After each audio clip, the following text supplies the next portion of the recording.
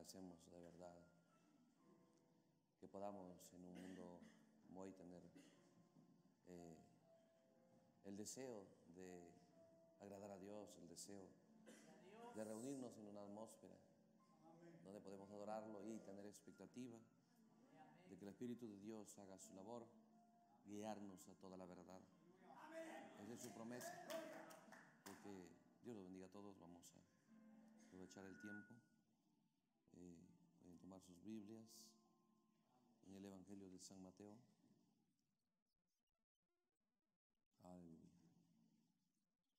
Dios bendiga a todos los hermanos también que estén conectados. Señor los bendiga a todos. San Mateo capítulo 24.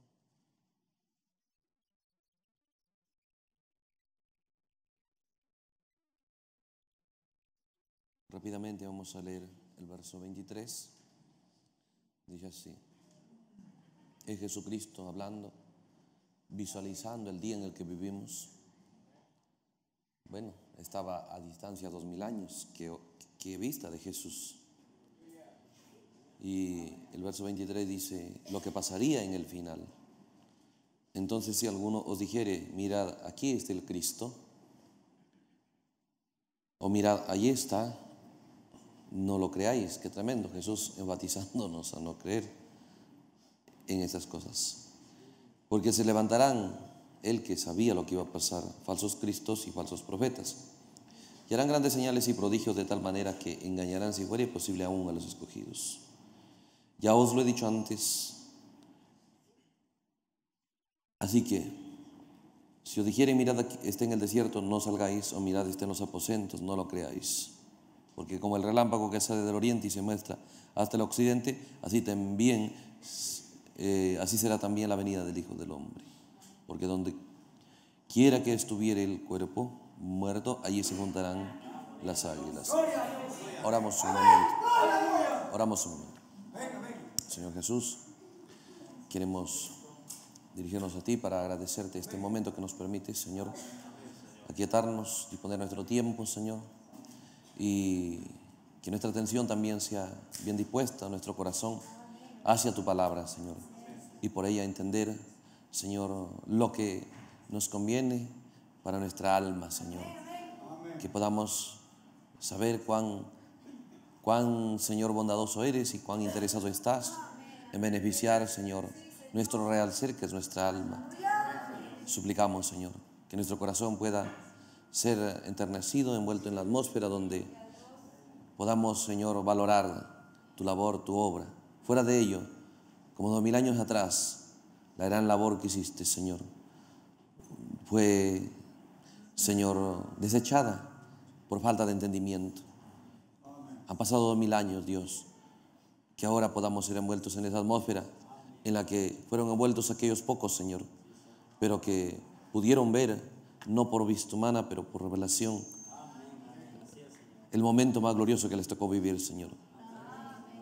Y en el nombre de Jesucristo, con expectativa, miraremos en tu palabra este tiempo, Señor, que nos asignas. Gracias por todo ello en el nombre de Jesús. Amén. Dios los bendiga. Pueden tomar asiento, hermanos. Gloria Señor. Seamos todos bienvenidos. Y estamos tocando un tema, ¿no? Que empezamos a poner algunas bases ayer. El, el anticristo y el fin del mundo. Porque está relacionado. El fin del mundo está relacionado con ese espíritu. Entonces vimos como hay muchas ideas que puede venir al pensar, al imaginar de la gente. Pero será tan tremendo que es el día más grande de, tinieblas, de maldad, de engaño, pero no es visible a la vista humana porque según la escritura, toda la tierra estaría maravillada en poder de la bestia y no sabrían. Por eso cuando leemos el mensaje Edén de Satanás, podemos ver cómo es que el profeta dice, Satanás ha hecho su Edén y la gente no lo sabe. Satanás ha hecho su Edén en este mundo. Tal como dice eh, Apocalipsis 3, ciega, miserable, pobre, desnuda y no lo sabe. Entonces, obviamente, todas las escrituras deben eh, darnos certeza que no está hablando de la esfera donde nuestros ojos pueden captar. Está hablando de la esfera desde donde Dios está viendo. Y la realidad no es lo que nuestros ojos puedan captar, la realidad es la que, la que Dios está declarando. Entonces, de esa manera podemos ver cómo es que el, tiempo terminará de esta manera. Jesús hablando que en el tiempo del fin estas cosas tomarían lugar.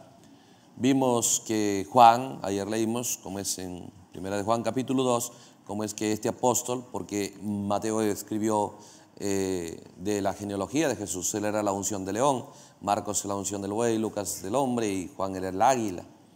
El que oyó los siete truenos, ¿ve? Aquel que era el amado, el tipo de la novia. Ah, eh, eh, él tenía la unción del águila, porque cada evangelio tipificó los cuatro seres vivientes. Y Juan tenía una característica especial, aparte que era el amado del Señor. Él siempre estaba muy cerca, más cerca que los demás a Jesucristo, porque la edad final es la que llega más alto de todas las edades. Entonces cuando Jesús decía, aquí hay uno que no es sincero, aquí hay uno que me va a entregar, aquí hay uno que me va a traicionar, ¿Ve? todos los demás decían, seré yo y se quedaban con dudas. Pero Juan, él no quería esas dudas. Él entraba tan cerca y se recostaba en el pecho de Jesús y le decía, Señor, ¿quién es? ¿Ve? Y Jesús solo a él le dice, al que yo le diera el pan, él es. Entonces Jesús movió el pan y le dio todo lo demás. Bueno, no vieron nada, pero Juan sí sabía. Mostrando que esta es, es, el discípulo haciendo el tipo de la novia del fin. ¿Por qué? porque él, escribió el Evangelio, cuando su Evangelio de San Juan empieza, no empieza en la tierra, dice, empieza en el principio, empieza en el cielo, en el principio era el verbo, en el logos, y empieza a terminar trayéndolo aquí a la tierra. ¿Ve? Ese verbo se hizo carne. El águila, el que escribió Apocalipsis, el que oyó siete truenos en Apocalipsis 10 y dijo, voy a escribir, dijo, no le escribas. Ese es el que habló en San Juan, primera de Juan capítulo 2, y dijo, el anticristo ya está operando en la tierra, pero hay algo todavía que impide que se manifieste. ¿ve? Pablo también vio lo mismo de ese espíritu. Jesús habló del mismo espíritu. Les preocupó a todos los que tenían la unción del Espíritu Santo este espíritu. Pablo dijo, es en el tiempo del fin, es el tiempo más peligroso Mire, no vio, no vio el peligro de, la Primera Guerra Mundial, no, no fue peligrosa, la Segunda, nunca habló Dios de eso. Hay, delincuencia, hay, inmoralidad, la gente se alarma de la, inmoralidad en hombres y en mujeres y que leyes lo apoyan. ¿Ve? Pero el Espíritu Santo en estos hombres no se alarmó de eso, eso es cierto. ¿Ve? Eso, eso ellos están trabajando para ponerles en condición de juicio. Pero lo que sí alarmó es este espíritu, que no estaría contento quedándose allá, porque hay gente que quiere ser inmoral, pero no tiene ningún deseo de querer adorar a Dios. Ellos solamente se satisfacen en su inmoralidad, pero este espíritu es diferente. Jesús advierte que este espíritu vendrá buscando conquistar ¿ve? al pueblo de Dios. Es tan peligroso porque es un, personificador. ¿ve? Entonces, Pablo vio eso y se alarmó también en 1 Timoteo capítulo 3. Y Pablo nos da más detalles de este espíritu. Si nosotros miramos aquí en, el capítulo 3 de Primera de Timoteo, él escribe, él escribe esta carta a Pablo a, Timoteo, al ministro, a los ministros de ese día. A los ministros les enseña que deben saber estas cosas. O, o segunda de Timoteo, capítulo 3. Les enseña estas cosas. Pablo. En segunda de Timoteo, capítulo 3 dice esto. Pablo hablando al ministerio. Recuerden, Pablo escribió a las iglesias, ya sea la de Corinto, Tesalónica, ¿ve? Efeso, pero también escribió a los ministros, al ministerio, ¿ve? tanto a Timoteo como a eh, Tito, ¿no? ¿Ve? Y, y aquí en capítulo 3, Pablo le dice a este ministro, también debes saber esto, debes saber esto. No dice te recomiendo algo, no, no, debes saber esto. Tal como Jesús le dijo a Nicodemo, te es necesario nacer de nuevo. No puedes escapar de eso. Entonces, Pablo le, hablando al ministerio dice, debes saber esto, ¿qué? Que en los postreros días vendrán tiempos peligrosos. El tiempo más peligroso. Recuerde, hoy día vemos muchos peligros. Hay peligro en, el mundo de, automóviles, ¿ve? de accidentes y todo por el estilo. Tal vez de terremotos, tal vez de, de derrumbes por causa de mucha lluvia y, bueno, por, delincuencia, por asaltos, por eh, drogas, tantas cosas que el mundo se ha vuelto peligroso y la gente eso sí lo ve, Pero el real peligro, estas cosas no lo alarman a Dios, porque estas cosas son solo consecuencia de que la gente es derrotada en el mundo invisible sobre la iglesia. Entonces, pero lo que sí se alarmó Jesús y nos advirtió Juan y cada apóstol, Pedro y todos los demás, y Pablo, ¿ve? Y, el mensaje del hermano Braga nos damos cuenta que está centrado en este día también. Entonces dice, es tan peligroso porque vendrán tiempos peligrosos. ¿Dónde estaría el peligro? Dice, habrán hombres amadores de sí mismos. Entonces, hermano Branham, cuando predicaba este, esta escritura, usted se va a dar cuenta que esta escritura, el hermano Branham no lo soltó en cada, casi, casi en cada uno de sus sermones. Siempre apuntó a esta escritura. Siempre. Y dice, por las características de estos hombres que se empieza a hablar, parece que fueran comunistas, parece que fueran ateos. ¿Ve? Pero dijo, estos no son ateos, son predicadores. Por eso, hoy día la verdad es que el peligro más grande, más grande, ve que el terrorismo, más grande que la delincuencia, más grande que la inmoralidad y la perversión, el peligro más grande está aquí en el púlpito. Según la Biblia, según el mensaje.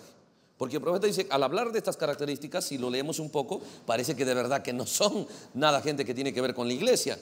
¿Ve? Porque dice, estos son hombres amadores de sí mismos, ávaros, vanagloriosos, soberbios, blasfemos, desobedientes a los padres, ingratos, impíos, qué terribles, ¿no? Sin afecto natural, implacables, calumniadores, intemperantes, crueles, aborrecedores de lo bueno, traidores, impetuosos, infatuados, amadores de los deleites más que de Dios. Qué tremendo, empieza a revelar Pablo ahí, si aman a Dios.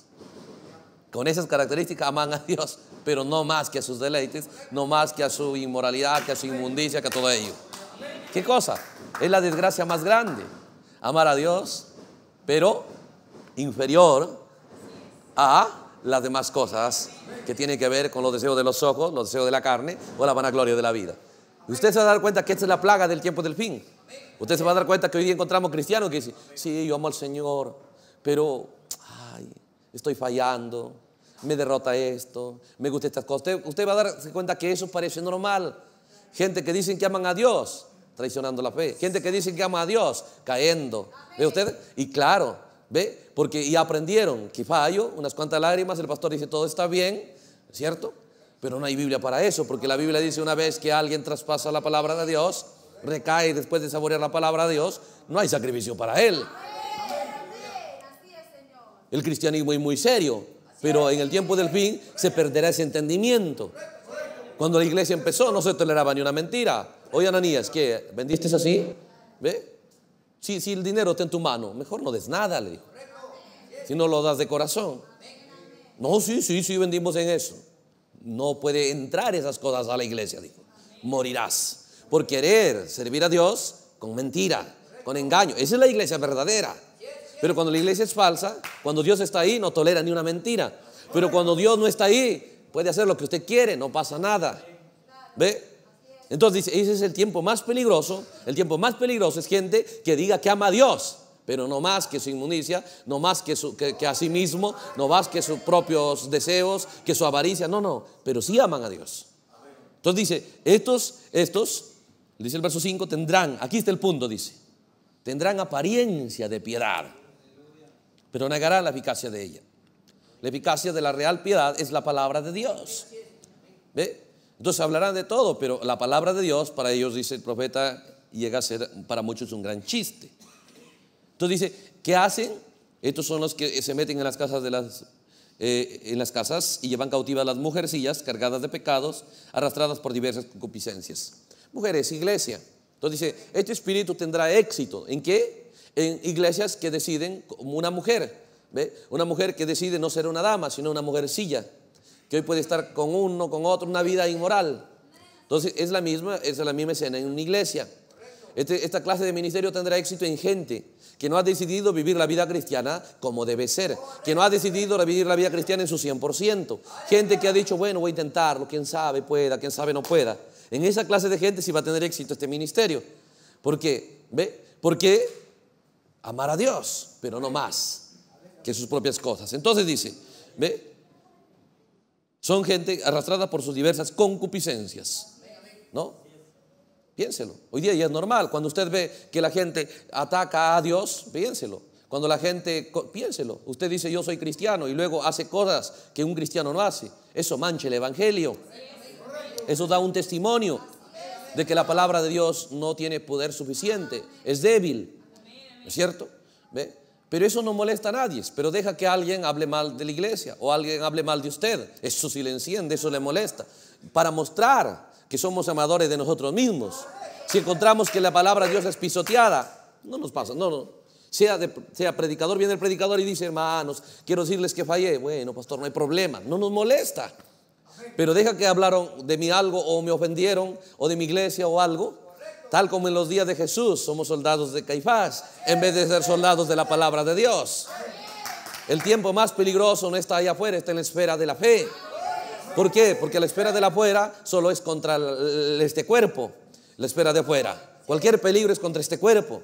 Pero el diablo se ha propuesto no atacar a la gente en su cuerpo, porque él lo hizo dos mil años y no funcionó.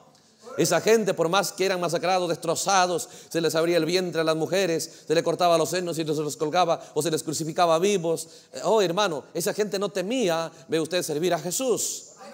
Entonces, en este día cambió su táctica, por eso se ha vuelto tan peligroso. En este día él ha decidido atacar la fe. Por eso que en este día Dios descendió a defendernos. Cuando ellos lo atacaron en la natural, Dios descendió a defenderlos con la unción de león. Le soltó la unción de león. Cuando Roma decidió derramar la sangre de ellos, le soltó la unción del buey. Cuando Roma decidió hacer sus doctrinas y vender indulgencias, inventarse el purgatorio y las misas, Dios soltó la unción del hombre. Y Lutero salió y protestó contra eso. ¿Ve? Y siempre el Evangelio fue ayudado. Pero en este día ha descendido a atacar la fe, atacar el alma. Porque no hay fe en el cuerpo, no hay fe en el espíritu. La fe solamente viene del alma y puede estar en el alma. Por eso que en este día Dios nos envió un mensajero que vino en tres fases su ministerio. Cuando el diablo después de la Segunda Guerra Mundial salieron, salió con enfermedades, con demonios que entraban en la gente y traían mucha enfermedad. Entonces Dios salió con su primer jalón en el ministerio del séptimo ángel. Dios toma la mano de la gente, dijo, y ayúdalo contra el, el ataque que hace Satanás a sus cuerpos de ellos. ¿Ve? Pero luego, eh, cerca de la década del 60, él avanzó, ya no va a atacar solo el cuerpo, ahora iba a atacar el espíritu de la gente. Entonces le dijo, ahora te voy a dar una, otro don para ayudar a esa gente, el don del discernimiento. Porque mucha gente no estaba enferma en su cuerpo, pero estaba enferma en su espíritu. ¿Ve? Entonces le dio ese don para ayudar a la gente. Pero dijo, el diablo no se detuvo ahí. El diablo ahora lanza su ataque de sentarse en el templo de Dios. Esa es la esfera del corazón, la esfera del alma. Pero yo también te voy a dar un don, dijo, ¿ve? El tercer jalón. ¿Qué era el tercer jalón? Traer a escena la palabra de Dios. Traer a escena el misterio de Dios. Aleluya. Escuche esto entonces. Cuando miramos estas cosas, dice la Biblia, estos son los que llevan cautivas a las mujercillas cargadas y arrastradas por diversas concupiscencias. Dice el verso 7. Estas siempre están aprendiendo y nunca pueden llegar al conocimiento de la verdad. O sea, mucho tiempo. Tengo 20 años en el mensaje, pero no conoce nada de la verdad. Y supuestamente están aprendiendo. Por eso cuando usted ve, tengo 10 años, ¿cómo puede saber si está agradando a Dios y no es, no es parte de este sistema de mujercillas que la Biblia profetiza que tomará lugar en el tiempo del fin? Un sistema de mujercillas o, espíritu de iglesia, ¿ve? Hipócrita y mundano. ¿Cómo sabe? Mire su relación con el entendimiento de la palabra de Dios, con el mensaje que Dios envió. Sus ojos tienen que ser abiertos a ello. Entonces dice, ¿de qué manera van a operar estos espíritus? De la manera que Janes y Jambres resistieron a Moisés, así también estos resisten la verdad. Son hombres corruptos, no en lo natural, pero de entendimiento. ¿Ve? Reprobos en cuanto a la fe. Ese es el tiempo más peligroso que Pablo señala. Ahora, ¿qué tiempo más peligroso señala Jesús? Volviendo a San Mateo capítulo 24.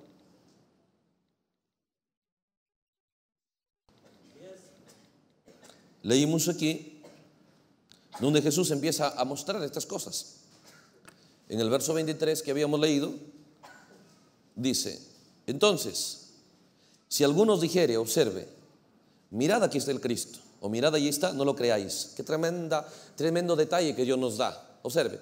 Dice, si cualquier predicación que viniera y nos enfocara, ¿ve? A un Cristo, Cristo significa ungido.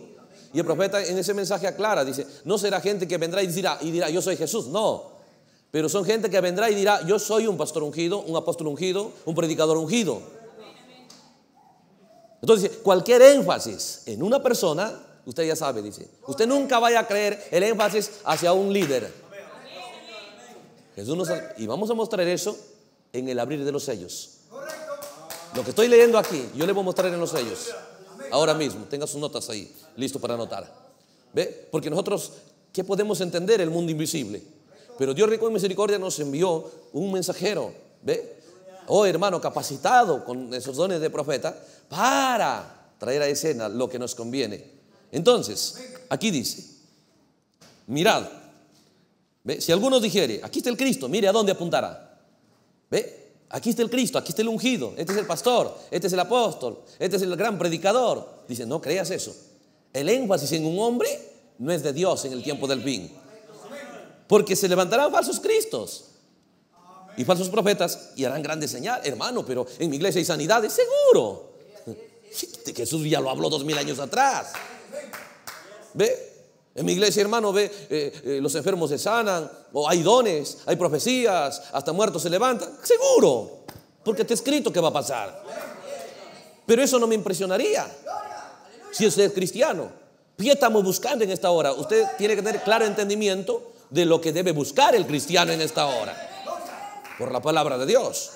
Ese es Jesús hablando, el gran águila, con un ojo tan eficaz, omnisciencia de Dios sabiendo lo que iba a pasar. Dios vio lo que iba a pasar en este día y nos advirtió eso. Por eso recuerde, nosotros estamos tan sentados muchas veces en la silla de la predestinación, reposando. Cuando, cuando si nosotros conocemos el mensaje, ¿ve? Casi todos los mensajes de 65, casi en cada mensaje, hermano Branham nos enfatizó uno de un millón. Y la gente dice, ah, son 7 mil millones en el mundo. No, no, no dijo, no dijo que será uno de un millón de gente mundana. Él citó Ve usted la escritura del primer éxodo. Eran dos millones, eran gente que seguía el mensaje de la hora. De, la gente que seguía el mensaje de la hora, dijo, de ellos, uno de un millón. Si no lee el mensaje uno de un millón, pues ahí está. Pero a veces nosotros rápido lo interpretamos mal. Decimos, ah, no, uno de un millón, son siete mil millones en el mundo, significa que son siete mil. Buena, buena cantidad. Pero así lo enseñó hermano Branca. Él no dijo siete mil millones del mundo, dijo uno de un millón que eran seguidores de Moisés. Esas cosas deben quitarnos todo conformismo. ¿Ve? Entonces, dice aquí.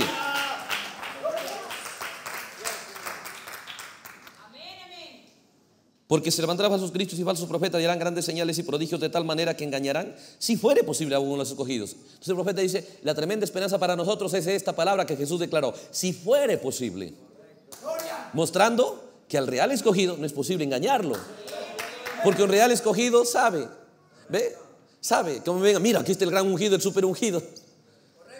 El real escogido sabe, solo hay uno que es el super, solo hay uno que es el grande, solo hay uno que es el Salvador. Porque ya en San Mateo capítulo 23, observe lo que está predicando aquí. ¿Ve? Simplemente es la continuación del capítulo 23. Porque en el capítulo 23, de ahí volvemos al capítulo 24, retrocedamos aquí.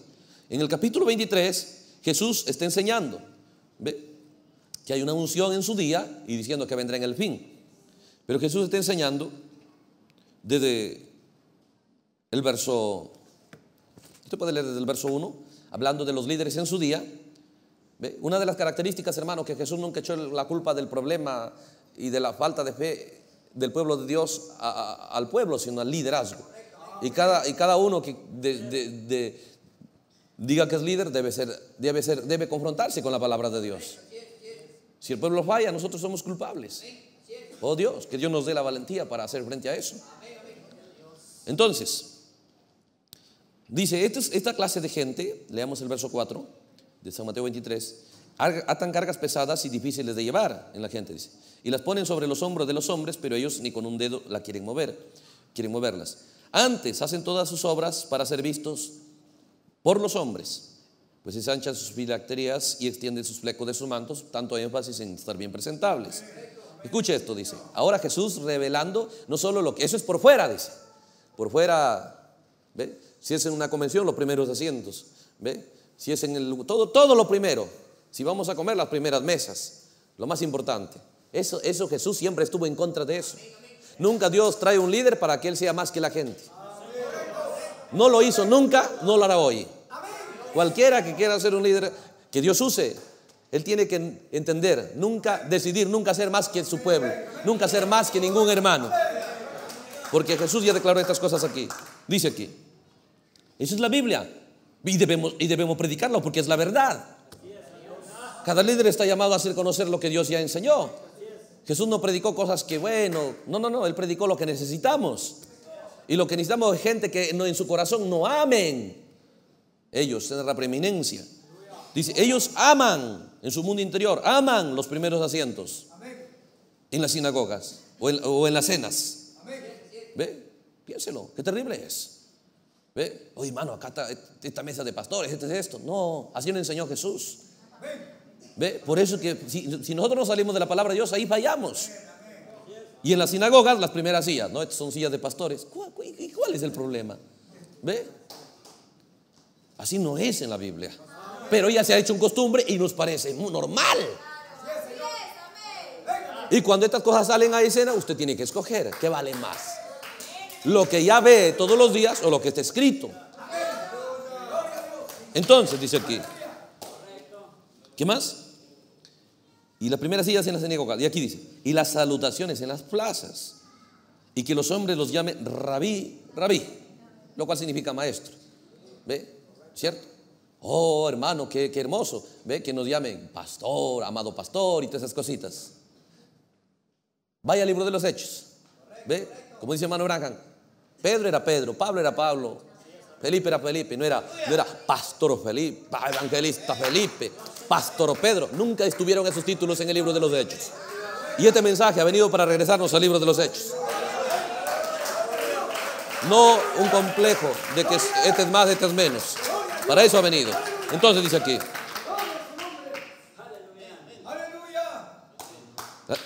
Pero vosotros, observe, esto es tan tremendo, pero vosotros, a su gente, ¿a quién le está hablando? A, a los líderes, a los primeros líderes de la iglesia.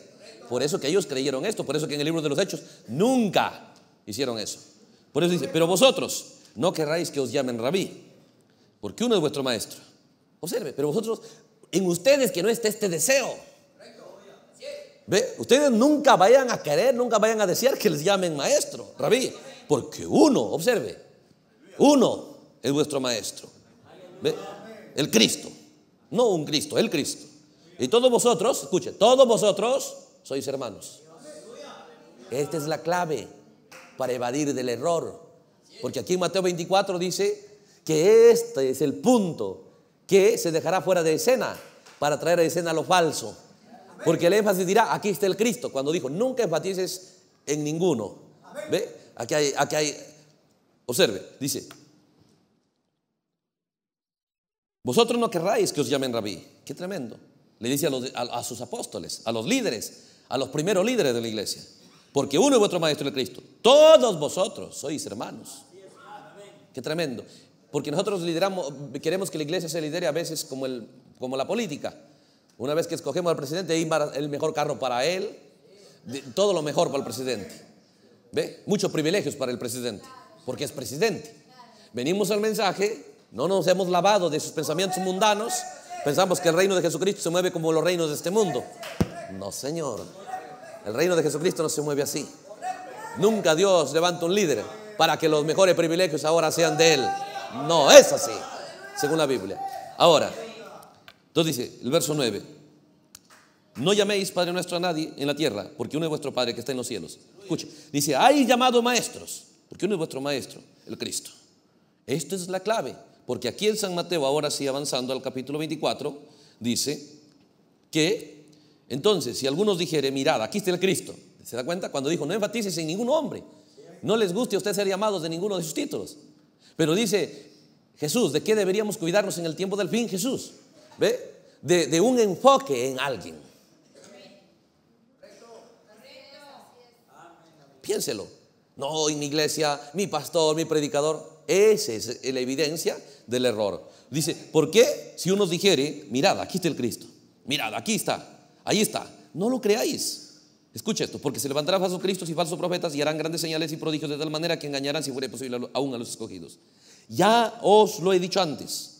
Así que si os dijeren, mirad, estoy en el desierto, no salgáis. O mirad, está en los aposentos, no lo creáis. No, no, no, mira, ahí en, el campo, mira aquí en la ciudad. No, esa no es la obra de Dios. No, no, ¿ve? No hay ningún grande, ningún super ungido en el tiempo del fin. Entonces, ¿qué sucederá? Dice, ¿cuál será la obra? Observe, como el relámpago. La obra de Dios es como el relámpago que sale en el oriente. Ese es el libro de los hechos. Es la iglesia apostólica. Se muestra hasta el occidente. Si ese que salió en el oriente se muestra, eso mismo, el mismo relámpago, su misma luz en el occidente, así será también la venida del Hijo del Hombre. Ahora, aparecerán muchos. ¿Ve? Dice para personificar esta obra que Dios hará en el tiempo del fin. Pero la obra que es de Dios será la misma que estuvo en el oriente. Esa misma debe mostrarse aquí en el occidente. Y eso sí es la venida, la real venida del Hijo del Hombre, lo cual es el séptimo sello. ¿Ve? ¿Qué es el Hijo del Hombre? El águila. ¿Ve? El revelador de misterios. Profeta. ¿Se da cuenta? Entonces, porque solo los gentiles no recibieron el Hijo del Hombre. Los samaritanos y los judíos sí en el oriente. Solo faltaba un pueblo que el Hijo del Hombre se revele a ellos. Y Jesús dijo en Lucas 17 que el Hijo del Hombre sí se revelaría a ese pueblo que no se reveló. ¿Eh? ¿Pero dónde? En el occidente. ¿Y cómo será? Como ya fue en el oriente. Aleluya. ¿Ve? Entonces el Hijo del Hombre aquí en San Mateo 24 nos dice, ¿ve? Estas cosas. El énfasis. Entonces dice, el verso 28, porque donde quiera que estuviera el cuerpo muerto ahí se juntarán las águilas. Qué tremendo. La gente no se, va a, no se va a juntar, dice, no se van a reunir porque aquí está el Cristo, porque allá está otro Cristo, porque allá en el desierto. No, no. Lo que va a juntar al pueblo de Dios, dice, es donde estuviera el cuerpo. Es el alimento. Y el alimento es la palabra de Dios. La palabra de Dios es la que va a juntar al pueblo de Dios. Ningún Cristo, ningún ungido. La palabra de Dios. Muy bien. Entonces nos encontramos que la carrera del enemigo en el tiempo del fin sería personificar, ¿ve? La obra de Dios. Sería, ve usted, tratar de pervertir el programa de Dios. El énfasis de Dios, juntar su pueblo, pero alrededor del cuerpo. Siendo que son águilas, dice, será un alimento profético, será una palabra profética, será el misterio de Dios dándose a conocer. ¿Ve? Porque el águila no come carne ya descompuesta, carne fresca alrededor de la palabra de Dios. Ahí se juntará la gente. Entonces, con estos datos, y ya hemos visto en San Juan, queremos ir al primer sello para ver la revelación de este Espíritu.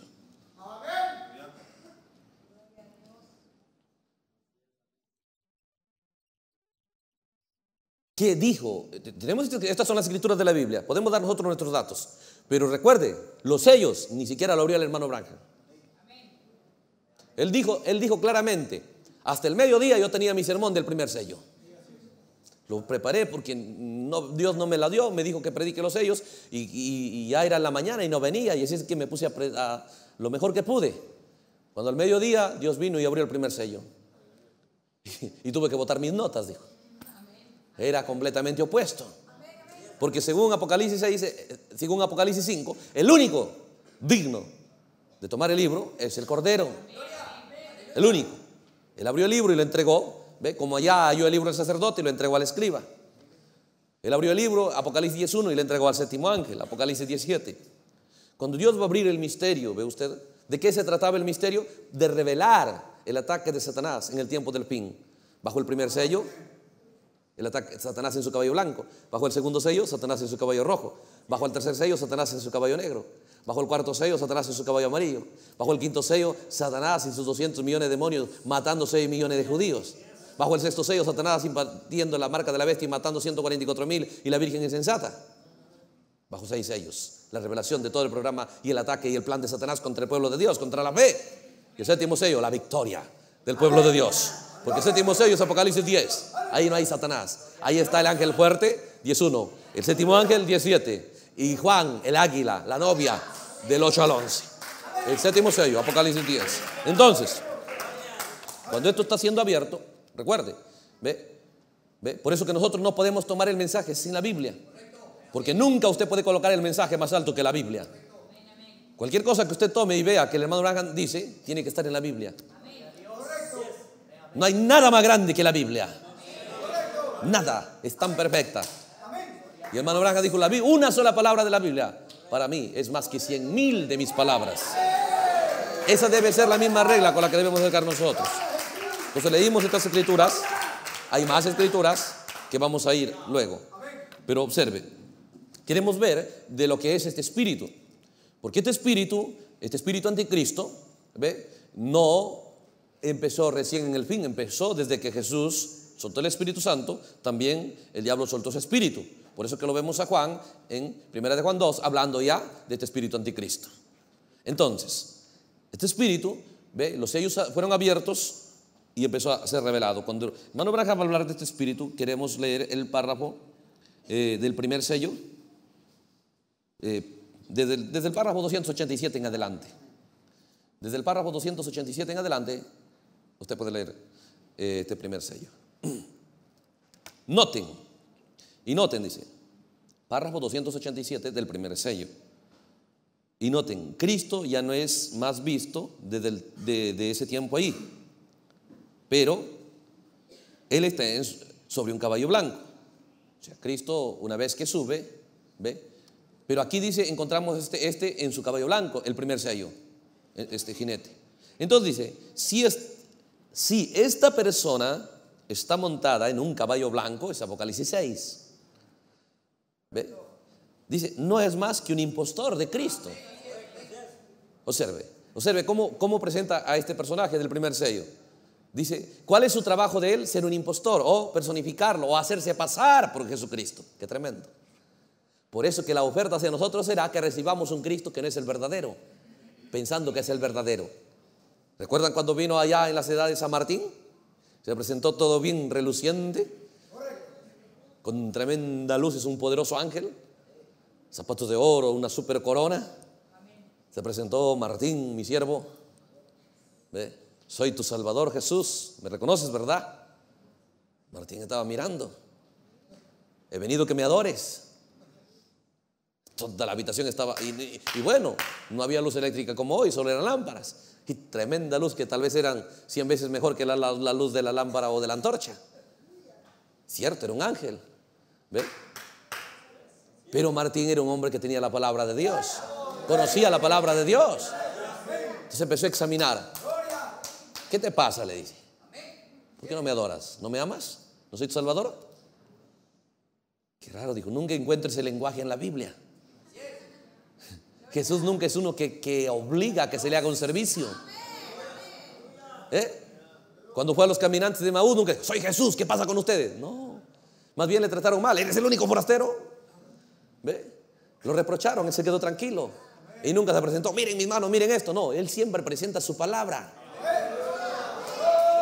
Y aquí viene uno, a Martín, y él se presenta, aquí estoy, adórame. Recuerda esas cosas. Y ese es el error que muchos caemos, sea como predicador o como creyentes. Cuando vamos a hablar con alguien, rápido nos presentamos nosotros. Rápido presentamos nuestro pensamiento. Casi la palabra de Dios lo dejamos para ahí, tal vez algún momento. Ese es el error más grande que podemos cometer. Ni Jesús hacía eso. Él nunca venía y se presentaba a Él. Él siempre decía insensato de corazón para creer lo que los profetas han dicho y empezaba a abrirles desde Moisés, que es Génesis, Éxodo, Levítico, Números y Deuteronomio, por todos los profetas y por los salmos. De modo que la palabra de Dios entraba a su corazón. Entonces aquí, ¿ve? Nos encontramos con este espíritu. Dice, ¿qué es? Mire su característica. Un espíritu, tal como lo dice Jesús en San Mateo, buscará personificar a la verdadera venida del Hijo del Hombre. El verdadero ungido. Aquí está ungido, aquí está esto, para que usted tenga confianza, ¿ve? En alguien más que en la palabra de Dios. Entonces dice este espíritu aquí, dice entonces, si esta persona está montada sobre un caballo blanco, no es más que un impostor de Cristo. ¿Ve? Ahora, el párrafo 288 dice, noten, el jinete sobre este caballo blanco no tiene nombre. Él puede ser que utilice dos o tres títulos, pero no tiene nombre. Entonces el énfasis también de este espíritu es que no va a enfatizar su nombre, poco significa porque no lo tiene. ¿Ve? Porque él no se propone dar su nombre, no le conviene. Pero él entonces va a tomar títulos. Qué tremendo. Por eso Jesús dijo, cuídense de los títulos, le dijo a sus ministros. Jesús en su reunión de ministros, Mateo 23. Ahí está el gran pastor con sus ministros reunidos. Esa super reunión de ministros de Mateo 23. Les empezó a enseñar el ministerio falso. Y les dijo que ellos no deben hacer eso, nunca aprendan eso. Pero le dijo, ¿qué deberían hacer? Dijo, ustedes nunca deberían enfatizar en los títulos, ya sea rabí, ya sea maestro, ya sea el Cristo. Nunca dijo hagan eso. Porque ese es el lenguaje del falso. Ese es el lenguaje del falso. ¿Se da cuenta? Por eso cuando nosotros encontramos, ¿ve? Eh, eh, el, profeta entendía esas cosas. Bueno, si hay tiempo les voy a dar esas citas. Pero aquí avancemos un poquito porque si no el tiempo se nos va. El párrafo eh, 290, avancemos. Hermano, usted, usted lo lee con detenimiento ya. Párrafo 290 del primer sello. Dice así. El jinete, el jinete no tiene flechas en su arco. Otra característica. Observe, primero es la, revelación, Cristo lo revela como uno que quiere personificarlo, uno que quiere hacerse pasar por Jesucristo. Hay unciones aquí en la tierra, no es, no es natural. Hay unciones aquí en la tierra, hay unciones en el mundo invisible. Ofreciéndosele a usted, ofreciéndome a mí. ¿Ve? Unciones. Pero si yo acepto esa unción, ¿cuál va a ser la característica? ¿Cómo sé qué unción tengo? Por el lenguaje. Si, si yo recibo esa unción, ¿ve? Me, estaré haciendo énfasis en el título. ¿Ve? Hermano, ¿cómo que hermano? Yo soy pastor para ti por si acaso. ¿Cómo que hermano? ¿Recuerda? Soy apóstol. Por eso dice, no tiene nombre, pero sí títulos. Personifica. Entonces, ¿qué es? ¿Qué es? Dice también un personificador. Ahora, ¿aquí qué más es? Otro detalle, el párrafo 190. El jinete no tiene flechas en su arco, qué tremendo. ¿Ve? ¿Lo notaron? Tenía arco, pero no dice nada de las flechas. Por lo tanto, como no tiene flechas, dice que es, por lo tanto, tiene que ser un fanfarrón. Otra característica de este espíritu, es un fanfarrón. Piénselo. Tal como, lo, como, como los fariseos. Dice, uff, ellos ataban tremenda carga pesada sobre la gente, pero ellos no. Ellos, ellos para nada les interesa. O sea, lo que predicaban era la palabra de Dios porque el pueblo venía por la palabra de Dios. Pero para ellos la palabra de Dios no tenía nada que ver. Solo eran fanfarrones, hablaban de lo que no creían, de lo que no les importaba, de lo que no amaban, de lo que no estaban dispuestos a vivirlo. Y Dios nunca va a honrar ese tipo de liderazgo. Entonces dice, ¿qué es otra cosa? Es un fanfarrón. Quiere liderar la gente, quiere liderar la gente a la derrota. Pero les dice que es a la victoria. Piénselo. Si, nosotros, si nosotros venimos a hablar Ve, hermanos, somos la novia invencible, nos vamos en el rapto, somos el ejército invencible. Pero no les decimos cómo. Porque dice, vamos a la batalla, vamos a la victoria. ¿Con un arco? ¿Eh? No tiene cómo ir a la guerra, no tiene cómo llevar a ese pueblo a la victoria. Jesús también cabalga y lidera a su gente, pero él sí tiene la espada en la boca. Él tiene un arma que hiere al enemigo. Hay diferencia. Entonces, Observe.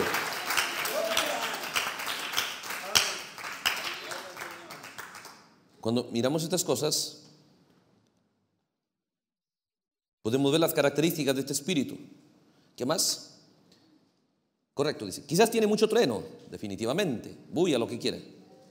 Y nada de relámpago. Pero descubrimos que Cristo tiene trueno y relámpago. Porque de su boca sale una espada aguda de dos filos. Y con ella hiere a las naciones. Pero este individuo no puede herir a nadie Qué tremendo. Es una unción. Es una unción de aceptar ese Cristo, esa unción como que fuera Jesucristo, pero no puede vencer ni siquiera la vestimenta en lo natural. No vence nada. Cuando la gente acepta esta unción, usted va a darse cuenta, ni siquiera puede vencer las cosas mundanas en lo natural. Porque es una unción que no hiere a nada del diablo, que no hiere a nada del mundo. Es una unción que se le ofrece. ¿Qué clase de vida cristiana quiere usted? ¿Una vida cristiana que solo va a la iglesia pero que no puede vencer nada? Ni del mundo visible, menos del invisible. Camina como cristiano pero adentro con otros pensamientos, igual que los de allá. Con deseos, igual que los de allá. Solo que trata de aparentar que no los tiene. Pero ¿a quién engaña? Usted sabe que los tiene y Dios sabe que usted lo tiene. Y la Biblia nos advierte que habría un espíritu que haría de nosotros un fanfarrón. Porque Satanás no puede darnos lo que no tiene. Y nosotros tenemos que escoger. ¿Queremos ser fanfarrones? ¿Hablar de lo que no creemos, de lo que no vivimos como los fariseos? ¿Decir que somos cristianos cuando adentro somos otra realidad? Porque la vida cristiana no solo consiste en el mundo visible, ambos mundos, el mundo visible y el mundo invisible. Aleluya. La vida cristiana no solo afecta a su vestir, No, no, no. La vida cristiana afecta su lenguaje, su deseo, su pensar, sus acciones, su objetivo. La vida cristiana no ha perdido su gloria. La vida cristiana no ha perdido su victoria, hermano. Pero hay una unción de un fanfarrón. ¿Pero qué es? Hay una novia que no quiere esa unción. Hay una novia que quiere la verdadera unción. Aleluya. Y está disponible. Aleluya. Dios lo ha dispuesto. Y no tiene por qué recibir esa unción. Porque Dios ha destinado para usted la unción del verdadero Jesucristo. Uno que sí vence, uno que sí puede hacer una calidad de padre, madre, predicador, joven, jovencita, dignos del Evangelio. No un montón de perdedores, derrotados, que avergüenzan el Evangelio. Debemos amar ese mensaje que nos pregunta, ¿es tu vida digna del Evangelio? Debemos confrontarnos con la palabra de Dios. Aleluya. Debemos nosotros saber, Dios nos advirtió la clase de espíritu que vendría. Esta novia le va a mostrar al diablo que no es como Eva. A mí no me viene con tus engaños, porque los siete sellos han sido abiertos. Aleluya. Gloria al Señor.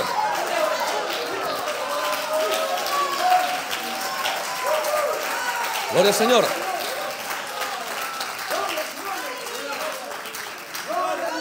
Tremendas características. Este es el espíritu anticristo. Y cuando la gente, hermano, ¿por qué? ¿Por qué? Porque este, este, esta labor de este espíritu trae en el fin del mundo. Tanto desagrada a Dios esta actitud, piénselo. Gente caminando, aleluya, gloria al Señor. Cuando Él vino, caminaban, oh hermano, lavaban los jarros, no, no comían nada sin lavarse. Jesús dijo, en vano me honran, eso no vale. Oh, por fuera, hermano, usted los viera. Usted diría, estos son ángeles. Cuando vino el Dios que mira adentro, dijo, ¿qué si esto es vano? Solo es de labios. Es lo mismo, hermano. Es lo mismo que usted debe buscar e investigar dentro de usted. Mire adentro. ¿Acaso no lo dijo a, Samuel? Yo no miro lo que mire el hombre, dijo. A mí no me engañan con sus apariencias, con su carita triste. Yo miro el corazón. Aleluya. Es el entendimiento que tuvo que recibir Samuel. Es el entendimiento que Dios trae a usted. Oh, cristianos que no solo quiero un cambio en lo natural, hermano. Yo no solo quiero un cristianismo en lo natural. No, no, no, no quiero la mitad de mi vida. No solo quiero mi mundo visible. Oh, yo quiero los dos mundos. Aleluya. Porque Jesús vivió una vida victoriosa en el mundo visible y en el invisible. Aleluya. Por sus venas corría sangre conquistadora. Cada enemigo que vino contra él, él no era un fanfarrón, él de verdad era un guerrero celestial. Aleluya el gran super guerrero, el gran super general. Él no tenía un pequeño arco, él tenía la espada aguda de dos filos, a diestra y a siniestra. Pablo, un general de esos generales, de esos siete generales, tampoco era un fanfarrón. Él dijo, tenemos armas a diestra y a siniestra. Aleluya. Él podía dar su vida en beneficio del pueblo de Dios. Él podía pararse y decir, tengo derecho a muchas cosas, pero yo sé que todo no edifica y no conviene al pueblo de Dios y no quiero vivir una vida solo pensando en mí. Cristo murió por tener una novia gloriosa y yo estoy dispuesto a vivir una vida y a pagar un precio para hacer una bendición para el pueblo de Dios. Aleluya. No era un fanfarrón, hermano. Tampoco Ireneo, tampoco Martín, tampoco Wesley ni Lutero. Ellos lo que creían, lo amaban, lo vivían, lo defendían, peleaban por ello, morían por ello. Aleluya. Y yo sé que este día vino el séptimo ángel, nos mostró cómo se pelea, nos dio las armas, abrió el misterio, se abrió la palabra de Dios. Y ese mensaje ha llegado a usted, no para hacer una iglesia de fanfarrones, pero para traer a escena el verdadero cristianismo. Aleluya. Gloria al Señor.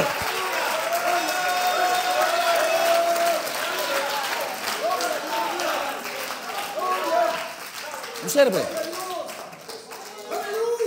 Jesús advirtiéndonos de ese espíritu. Pablo advirtiéndonos, Juan advirtiéndonos, Judas advirtiéndonos. Lucha ardientemente. Y cuando el misterio es abierto aquí nos empieza a mostrar sus características.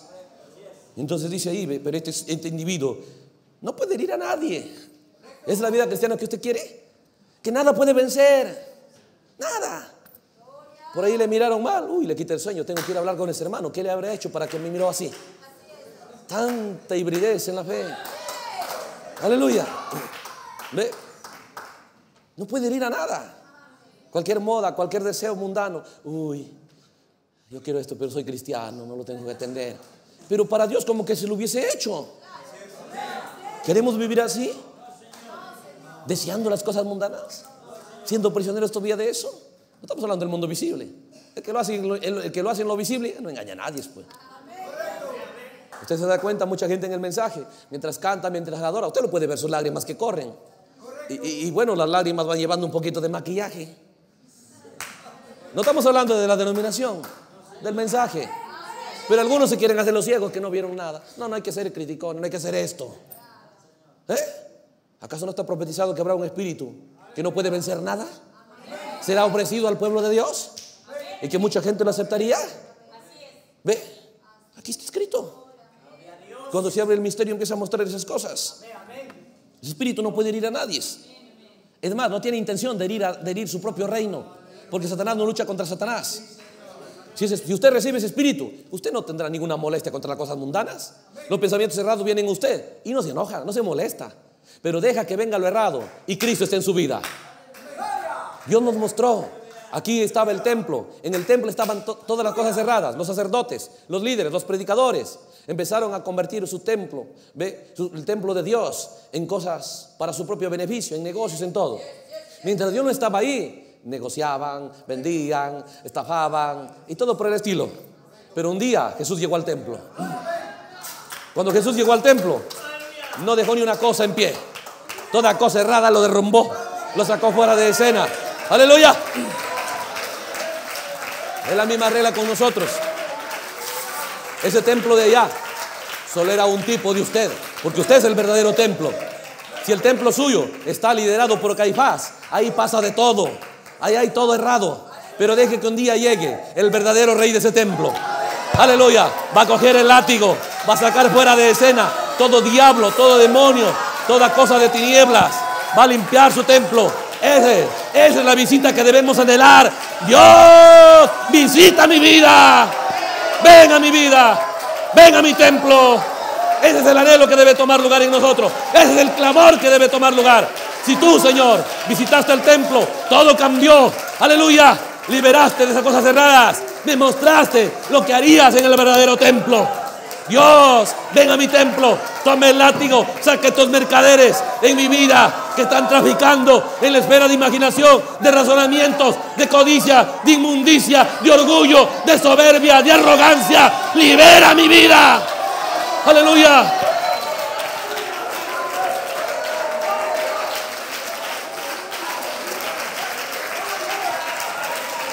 Son promesas de Dios que están en su palabra. Y el cielo y la tierra pasará, no su palabra. Este mensaje no se quedará sin resultados. Si alguien no lo cree, habrá gente que sí lo va a creer. Aleluya. Gloria al Señor.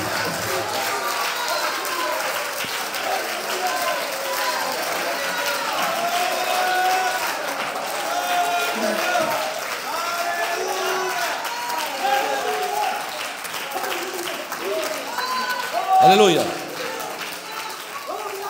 Observe aquí. Decía, este, este, individuo no puede herir a nadie. Estas cosas son tan malas.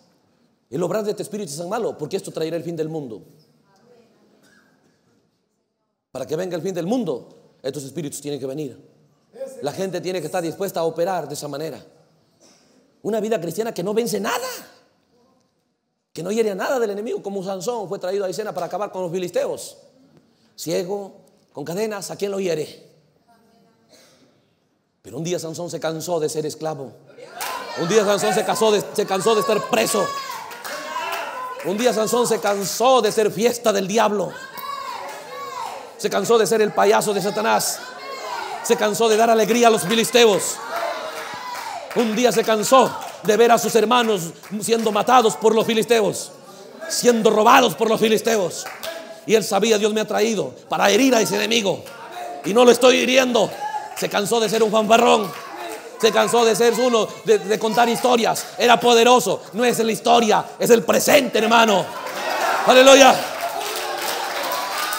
Un día se cansó, Sansón de eso. Y un día clamó, Dios, visita mi vida una vez más. Aleluya. No como cualquier tiempo, no como lo de Lutero, no como Wesley. Visítanos como visitaste la iglesia apostólica, como en el libro de los Hechos. Visítanos para hacer una iglesia donde, Señor, nos agrada tener un Dios que no tolera que nada errado entre su pueblo. Ahí no hay lugar para Ananías y Zafira. Ahí no hay lugar para lo errado. Ahí no hay lugar para Simón el mago. Aleluya. Gloria al Señor.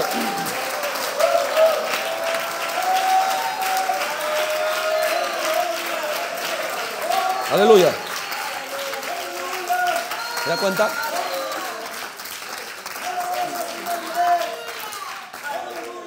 Pero este individuo, este individuo no puede ir a nadie. Antes está desempeñando el papel de un hipócrita. Él es un espíritu. Para ver sus hechos, la gente tiene que aceptar que, que vive en ellos. Usted vive de acuerdo al espíritu que recibió de acuerdo a la unción que recibió. Esa es la vida que usted vive. Porque tal es el espíritu del hombre, tal es él. Eso es lo que el sabio Salomón vio. Y recuerde, usted no puede ser obligado. Ese espíritu no puede romper sus puertas. Usted lo tiene que invitar. Porque son leyes. En el Antiguo Testamento decía, si una muchacha ve usted va y alguien quiere violarla y ella no acepta, él muere no ella. Si ella da voces, si ella grita, si ella protesta, si ella se rehúsa. Eso no hablaba de un violador natural. Eso hablaba del real violador de la fe. El diablo. Si una iglesia quiere ese espíritu entrar a ella, ¿ve? Para darle contentamiento con las tinieblas, con el mundo, con el pecado, con el edén de Satanás. Pero si esa iglesia protesta, reclama, pelea, lucha. Aleluya. Allá en lo natural puede que no lo oían sus gritos, pero aquí hay uno que al pequeño grito suyo, él está atento a responder. Aleluya. Él viene en su auxilio para liberarlo de ese gran violador de la fe. Aleluya. Gloria al Señor.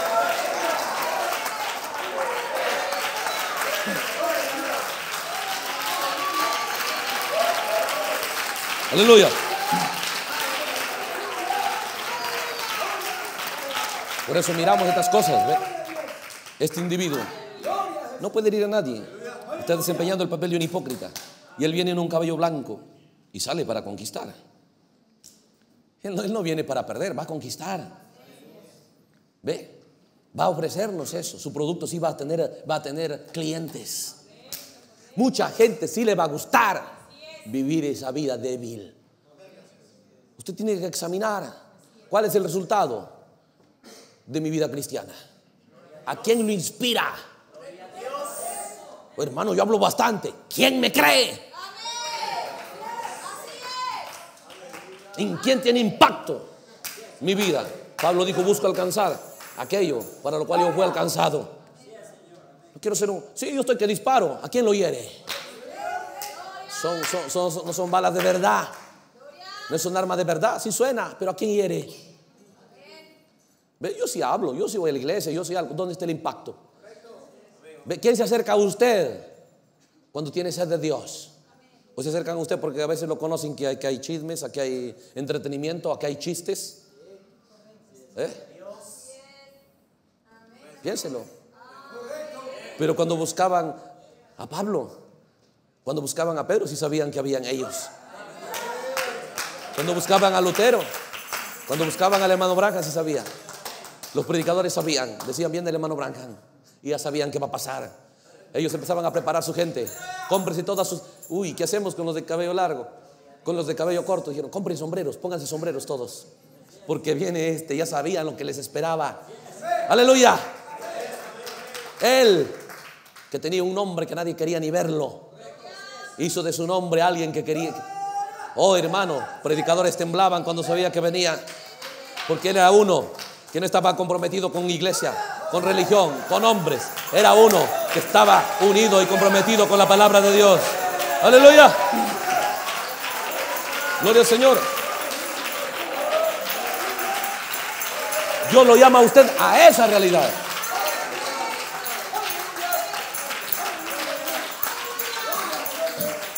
Esas son las características del espíritu anticristo. La gente piensa que, dijo en los días del profeta, pensaba, será una super imagen que caminará pasos y hablará. No, no, no, esta es la revelación del anticristo. ¿Ve? Una unción para cabalgar en la gente.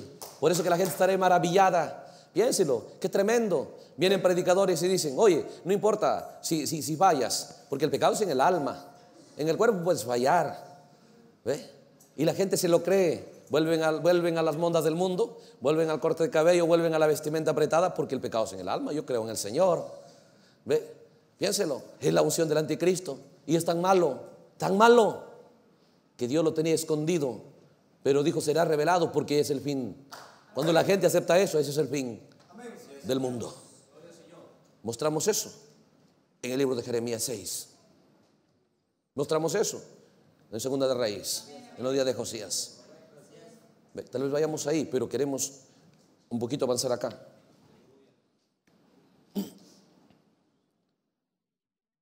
En el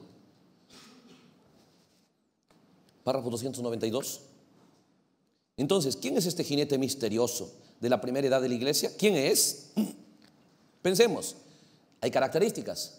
Es un, personificador, un fanfarrón, no hace daño nunca lo errado, no ataca lo errado. Qué tremendo. Oh, dijo el predicador que consienta lo errado debe darle vergüenza, su vida no es digna del Evangelio. Es tan terrible eso, permítame mostrárselo, lo terrible que es. Aquí en el mensaje. El mensaje presumiendo. 17 de enero de 1962. Observe, el mensaje presumiendo. Párrafo, vamos a, para acelerar, párrafo 150. Y usted lee toda la historia. ¿Ve? El, hermano Braga empieza a decir cómo es que Dios le dio instrucciones para entrar a Canaán. Dijo, lo, del cananeo es abominación para mí, no toquen nada. Nada del cananeo. Cuando Dios le saca del mundo, del mundo, ¿ve? Del cananeo, usted ya no tiene que traer esas cosas. Pero dice aquí el párrafo 150, hubo un hombre, Acán, allá, leemos la historia en el libro de Josué Acán, el que tomó un lingote de oro, un manto babilónico y así. Dice, párrafo 150, acá pensó, este pequeño lingote no importará, no creo que ya también sea lingote.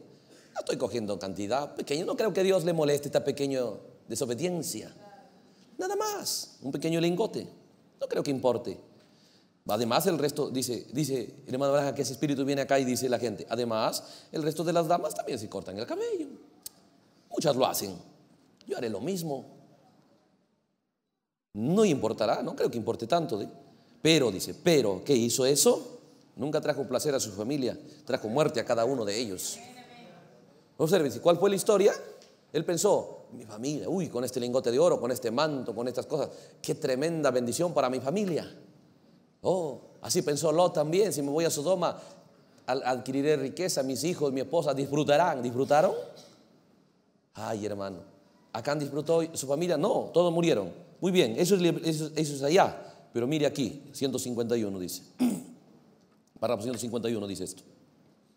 Cuando nosotros, nosotros cedemos en cualquier mandamiento de Dios. Cuando nosotros cedemos en cualquier mandamiento de Dios para complacer a la gente. ¿Ve? Cuando nosotros cedemos en cualquier mandamiento de Dios para complacer a la gente, matamos la cosa allí mismo. Matamos la cosa allí mismo. Un solo lingote pequeño o un solo manto babilónico detuvieron al ejército marchando. Cuando usted, nosotros aceptamos una vida cristiana que no hiere al pecado, no, no vence al enemigo, ahí se acabó la iglesia de Dios. Ese ejército ya nunca más vencerá. Esa iglesia nunca más avanzará hacia adelante. Solo dará vueltas en el desierto. Dirá, este 2016 va a ser mejor. Llega el, el 2017, ahora este año va a ser mejor. Y así, si quiere 10, 100 años, si quiere mil años, y nunca será mejor. Porque ya nunca más vencerás, le dijo a Israel, salvo que saques fuera de escena el que desobedeció mi palabra. Es tan malvado tolerar ese espíritu que no vence al enemigo. Ese espíritu que codicia lo que Dios dijo que no debe codiciar. Es el espíritu anticristo. ¿Qué era? ¿En qué tiempo? Donde estaban poseyendo su promesa Ahí era una tierra para nosotros. ¿Qué es? El sello de Dios. Para nosotros es fe perfecta, la palabra de Dios. Entonces dice aquí, un solo manto babilónico detuvo al ejército marchando. Hermanos, una sola cosa, una sola cosa que permitamos a la iglesia hacer que está mal. Una sola cosa. Hermano, no podemos evitar. Puede venir un muchacho y traicionar su fe. O una jovencita. No podemos evitar eso. Porque no se puede obligar a nadie. Pero ¿cuál debe ser nuestra actitud? Nunca apoyar eso. Jamás.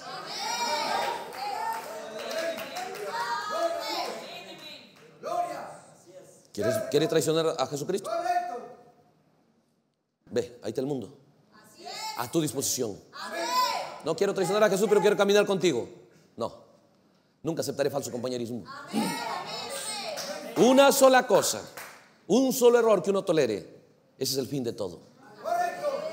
No, la iglesia de Dios, hermano. Ve usted, no es el palacio de Caifás, donde venden, trafican, cambian su dinero, estafan y no pasa nada. No, esa no es la iglesia de Dios. Jesús lo mostró, que cuando Él llega las cosas cambian. Jesús lo mostró en el libro de los Hechos, que cuando Él está en esa iglesia, ni una mentira entra ahí. No, hermano, no hay que ser exagerado. Claro, no hay que ser exagerado. Solo hay que creer la palabra de Dios. No hay que ser exagerado. Uno me va a decir que la palabra de Dios es exagerada. ¿Eh? Dios es exagerado. No, Dios nos dio su palabra. Y también nos dio la fe, nos dio los recursos para seguir en pos de ella. Aleluya. Nos dio la provisión para caminar en pos de ella. Pero ese espíritu, cuando usted lo habla a gente que tiene este espíritu, la gente se pone muy triste porque ellos piensan que Dios nos dio una palabra que no podemos vivir. Ve, Jesús nos enseñó y dijo, un padre natural le pides pan, ¿te da piedras? Le pides pescado, ¿te traerá una serpiente que lo comas ahí? Si, si, siendo malos, sin Dios, dan cosas buenas a sus hijos. ¿Cuánto más vuestro Padre no nos, ha dado, no nos ha dado la palabra más buena que hay? El mejor mensaje, la mejor instrucción, el mejor requerimiento que se lo crea a sus súbditos al diablo de que la palabra de Dios es problema. La palabra de Dios es lo mejor que Dios nos ha dado. Es lo mejor que hay. Aleluya. Gloria al Señor. Observe. Dice acá, un solo manto babilónico detuvo al ejército marchando. Hermano, una sola, una sola cosa que permitamos a la iglesia hacer que está mal. Una sola cosa que nosotros no condenemos. Una sola cosa. No varias. Una. No varias. Y no hagamos que la gente se enmiende. Detendrá la marcha de la iglesia. Ese es el fin. Pero ellos presumen que siguen adelante. Y puede ser que sí. Sigan adelante. En nombre. Solo físicamente. Puede que estemos siguiendo, dice adelante, tal vez en números. ¿Ve? Hermano, gente va al culto. ¿Y eso qué? Pero eso no es lo que cuenta. Eso no es lo que cuenta. Lo que cuenta es que Dios esté con nosotros. Dios en nosotros. Dios moviéndose a través de nosotros. Su palabra viva en nosotros. Oh, hermano, es la hora donde debemos aceptar el desafío de ser el ejército de la palabra de Dios. No el ejército de nosotros mismos, amadores de sí mismos, vanagloriosos, antiguos. No, no, no el ejército de la palabra de Dios, soldados de la palabra de Dios, no soldados de nuestra propia causa, no defensores de nuestra propia causa, no defensores de nuestra iglesia. No, no, no, no. Defienda la palabra de Dios. Enfréntese, enfréntese a la inmundicia, al deseo de los ojos, al deseo de la carne, a la gloria de la vida. Enfréntese, pelee, derrótelo, aplástelo, defienda la palabra de Dios. Aleluya. Gloria al Señor.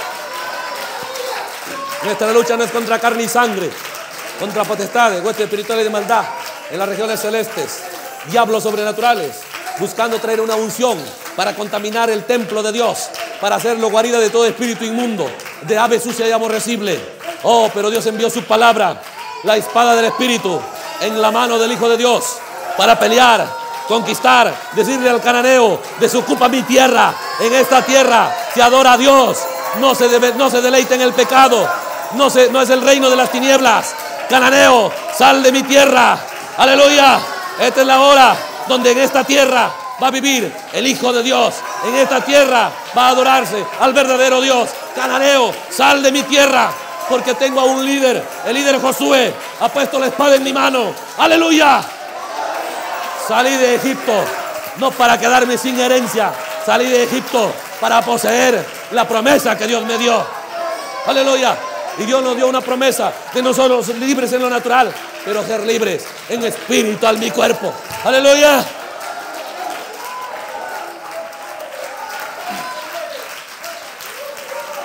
Es tremendo esto.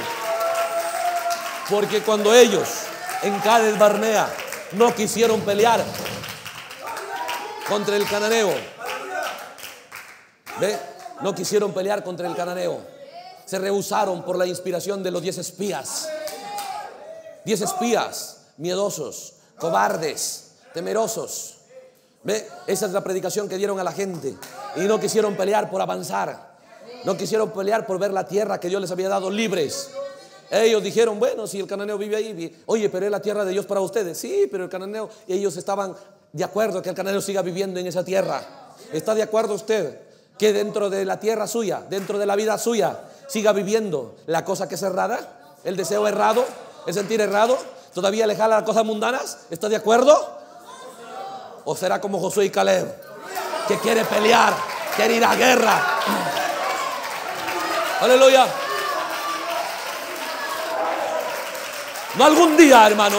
Esta es la hora. Esta es la hora. Esta es la hora.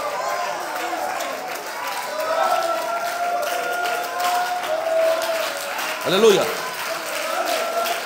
Observe. Es tan terrible. Porque ese día que no quisieron pelear, su destino eterno fue sellado. Esta noche están en el infierno. Ellos, ellos que habían comido maná, que habían cruzado el Mar Rojo, que habían salido de Egipto, están en el infierno. ¿Por qué? Se rehusaron liberar Canaán.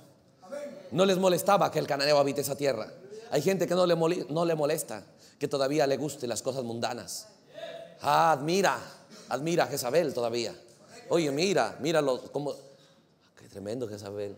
Sé lo que yo soy cristiana, no puedo pintarme como ella. No puedo cortarme como ella. Mira, no puedo ponerme esa vestimenta apretada como ella. Pero aunque sea un poquito, voy a imitarlo. Y poquito a poquito la gente empieza a ceder. Una sola cosa que cedamos, se acabó. Dios no camina con gente derrotada. Él dijo, el que venciere, ese será mi hijo. Y de ese yo seré su Dios. Dios no camina con gente derrotada. Dios no camina con perdedores.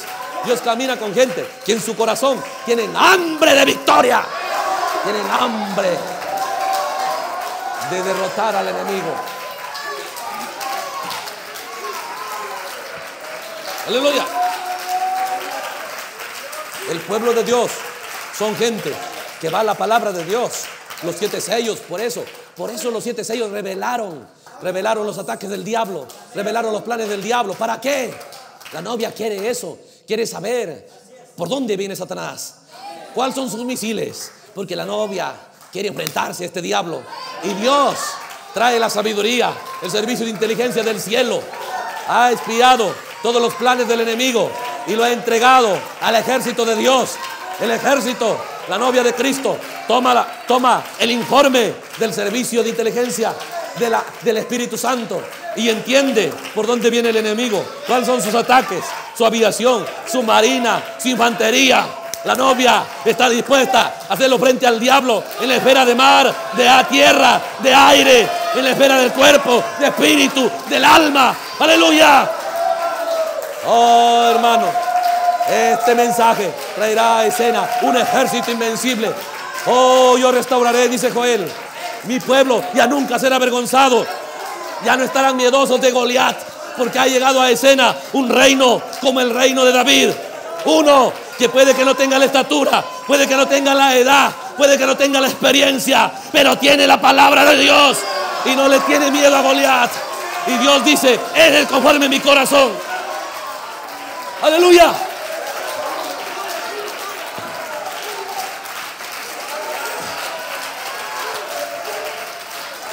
Gloria al Señor.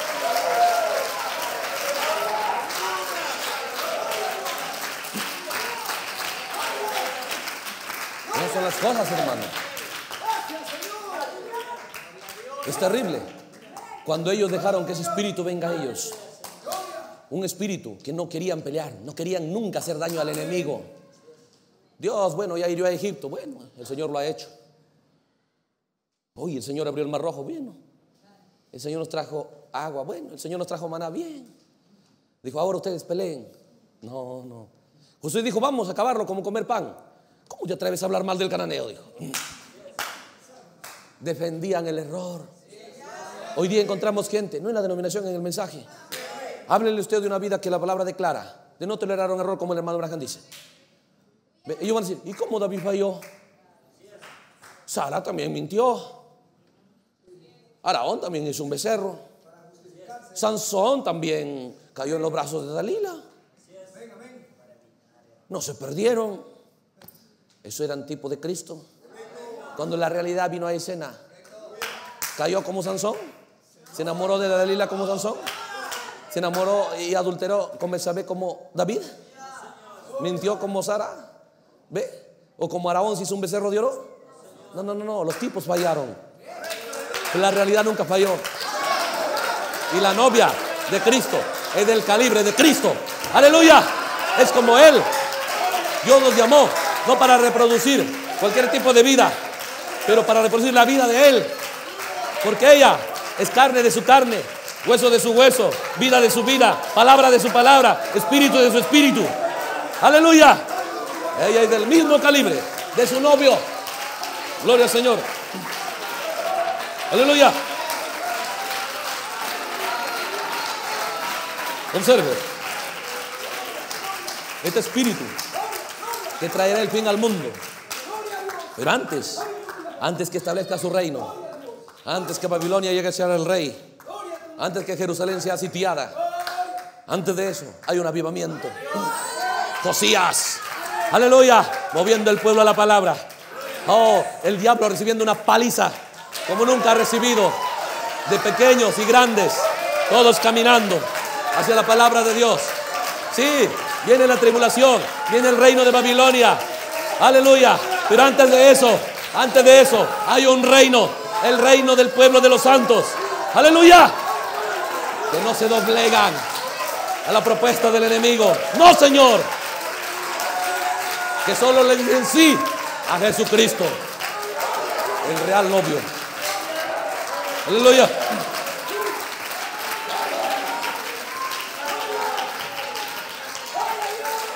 Mire estas cosas en la palabra. Dice aquí. Estamos en el párrafo 292 del primer sello. Entonces, ¿quién es este jinete misterioso de la primera edad de la iglesia? ¿Quién es? Pensemos en eso. ¿Quién es este jinete misterioso que sale en la primera edad de la iglesia y que cabalga hasta la eternidad? Sigue hasta el fin. No es otro diablo el que empezó en la primera edad. Ese sigue. Observe. Aparece en el segundo sello también. El mismo y continúa hasta el fin. Aparece en el tercer sello y continúa hasta el fin. Aparece en el cuarto, en el quinto y en el sexto. ¿Ve? El séptimo. Todo termina aquí, aquí, al final, en el tiempo del fin.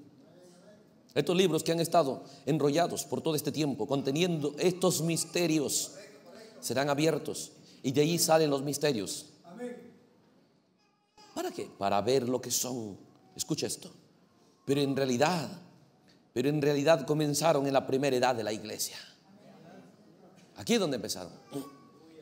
Porque la iglesia, la primera edad de la iglesia, recibió el mensaje así como este. ¿Se da cuenta? Entonces, dice aquí, párrafos 294. Salió un jinete sobre un caballo blanco. ¿Quién es? Él es poderoso en su poder para conquistar. Él es una gran persona en su poder para conquistar. ¿Quieren que les diga quién es? Es el anticristo. Es el anticristo. Ese espíritu que salió allá. Por eso, ¿qué es el anticristo? La gente piensa, uy, será el hombre. Mire el 6-6, por allá el 6-6. El 6-6 solo tiene un hombre, el número de hombre, dice Apocalipsis. Y está en el Vaticano. Pero es la esfera visible. Pero hay una esfera invisible.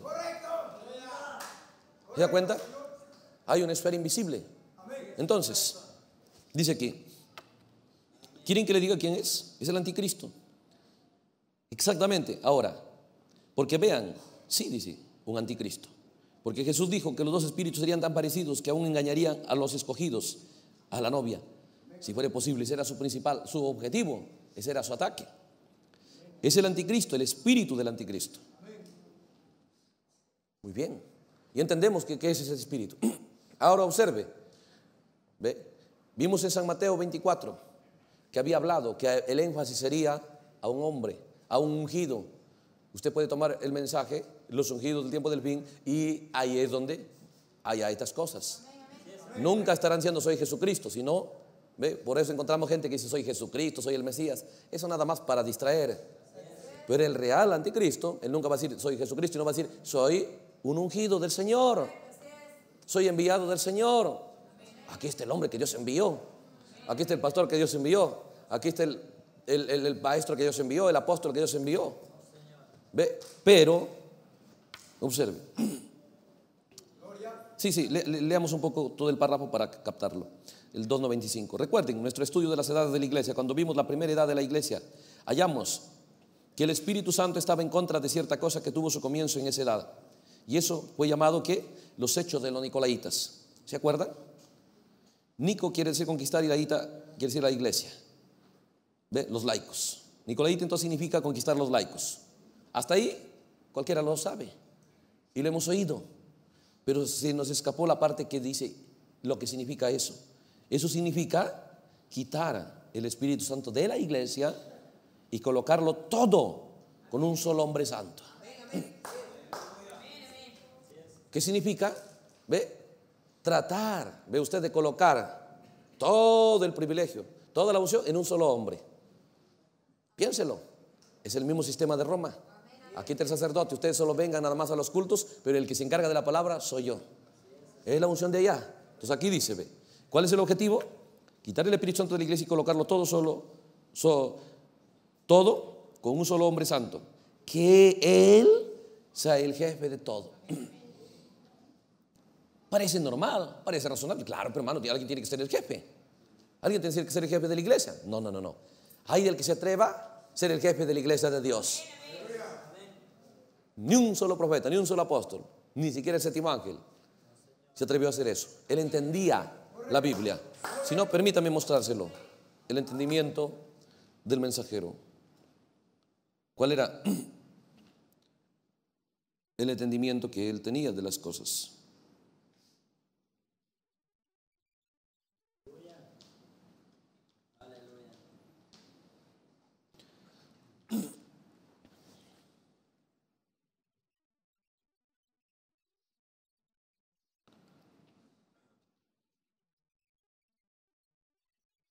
Estamos aquí en el mensaje Apocalipsis capítulo 4, la, parte 3, predicado el, el 8 de enero de 1961. Apocalipsis capítulo 4, parte 3, predicado el 8 de enero de 1961. Un párrafo más. Párrafo 15. Párrafo 15. Dice, y Dios Escuche, y Dios nunca envió al hermano Neville y a mí para ser jefes. Qué tremendo. Por eso Dios pudo usar al hermano Branja. Por eso que Dios no puede usar hoy la gente, hermano. Porque dice automáticamente piensa que Dios cuando pone un predicador pone jefes. Pone a alguien que va a tomar el control de la iglesia. Eso, ese énfasis sería el énfasis del anticristo. Estamos leyéndolo en el primer sello. Pero es tan cercano, porque es cierto si hay hombres que tienen dones y van a estar en escena, pero no para ser jefes. Observe, dice, Dios nunca envió al hermano Neville ni a mí para ser jefes. De ninguna manera. Solamente somos hermanos. Porque eso chocaba con Mateo 23. ¿Quién se atreve a ir contra la Biblia? Cuando ya Jesús dijo, todos vosotros sois hermanos, no me vengan con cosas. No, pero yo soy. No, no, no, no, dijo, ni siquiera quieran ser llamados maestros, ni rabí, ni todas esas cosas. Todos vosotros sois hermanos. ¿Ven ustedes? Dice, ¿qué es? Instructores en el Evangelio. Eso es lo que es un don. Solo es un instructor. No es más que su pueblo. Piénselo. ¿Ve? ¿Ven ustedes? Instructores en el Evangelio. Cuando usted va, cuando usted va a la escuela, encuentra un instructor o a la universidad. ¿Ve? Nunca se le presenta, mira, ahora yo soy tu profesor, pero también soy tu jefe. Y si es que de aquí el resto de tu vida estás bajo mi dominio.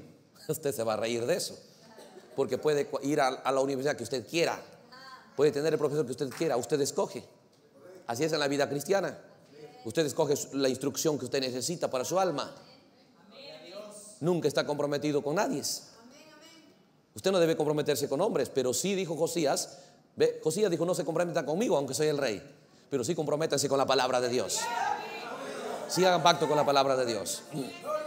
¿Se da cuenta? Entonces dice aquí, ve, Dios nunca envió al hermano Neville y a mí para ser jefes, de ninguna manera, solamente somos sus hermanos.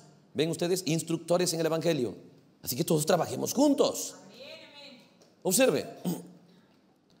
Entonces, con razón dice aquí que este espíritu quitaría el Espíritu Santo de la iglesia y colocarlo todo en un solo hombre. Qué tremendo. Cuando es el Espíritu Anticristo, todo. Oh, hermano, la gente no puede ni, ni- ni siquiera, ni siquiera puede ir a vender sus cosas sin pedir permiso al pastor. El pastor va a abrirme negocio, pastor esto, pastor lo otro. Voy a viajar, pastor, me da permiso, pastor esto. ¿Dónde está eso?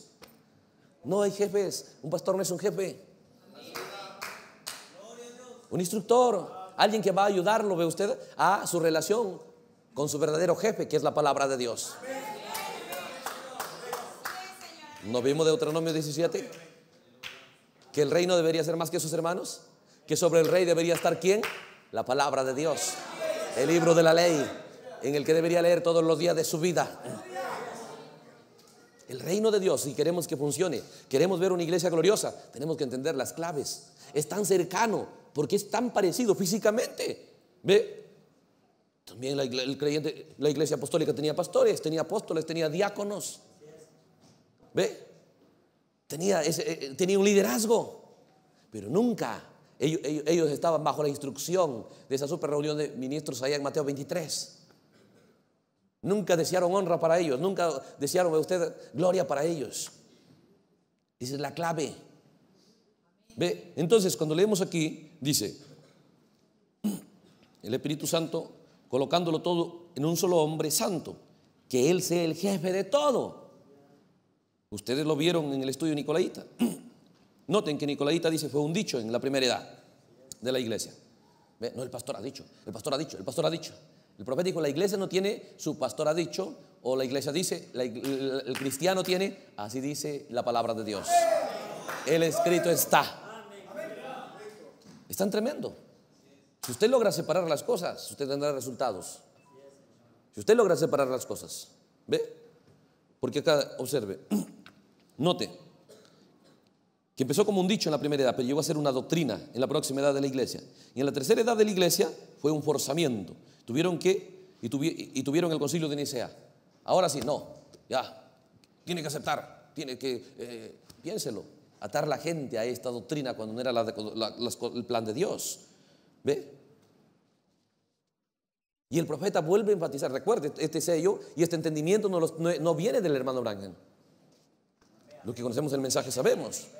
Está siendo abierto, estaba secreto, estaba cerrado, pero Dios que sabe el plan del diablo para entrar a reinar. Ve, piénselo, ¿qué era? Un tipo, Adán y, y- y su novia era tipo de Cristo, el postrer Adán y su novia. Ella solamente debería hallar, si quería deleitarse era con Adán, si quería pasear era con Adán, si quería disfrutar con Adán, si quería complacer era Adán. Pero se da cuenta que vino un predicador y empezó a proponerle disfrutar con él. Le empezó a proponer que él también lo acepte, lo acepte ella a él como marido.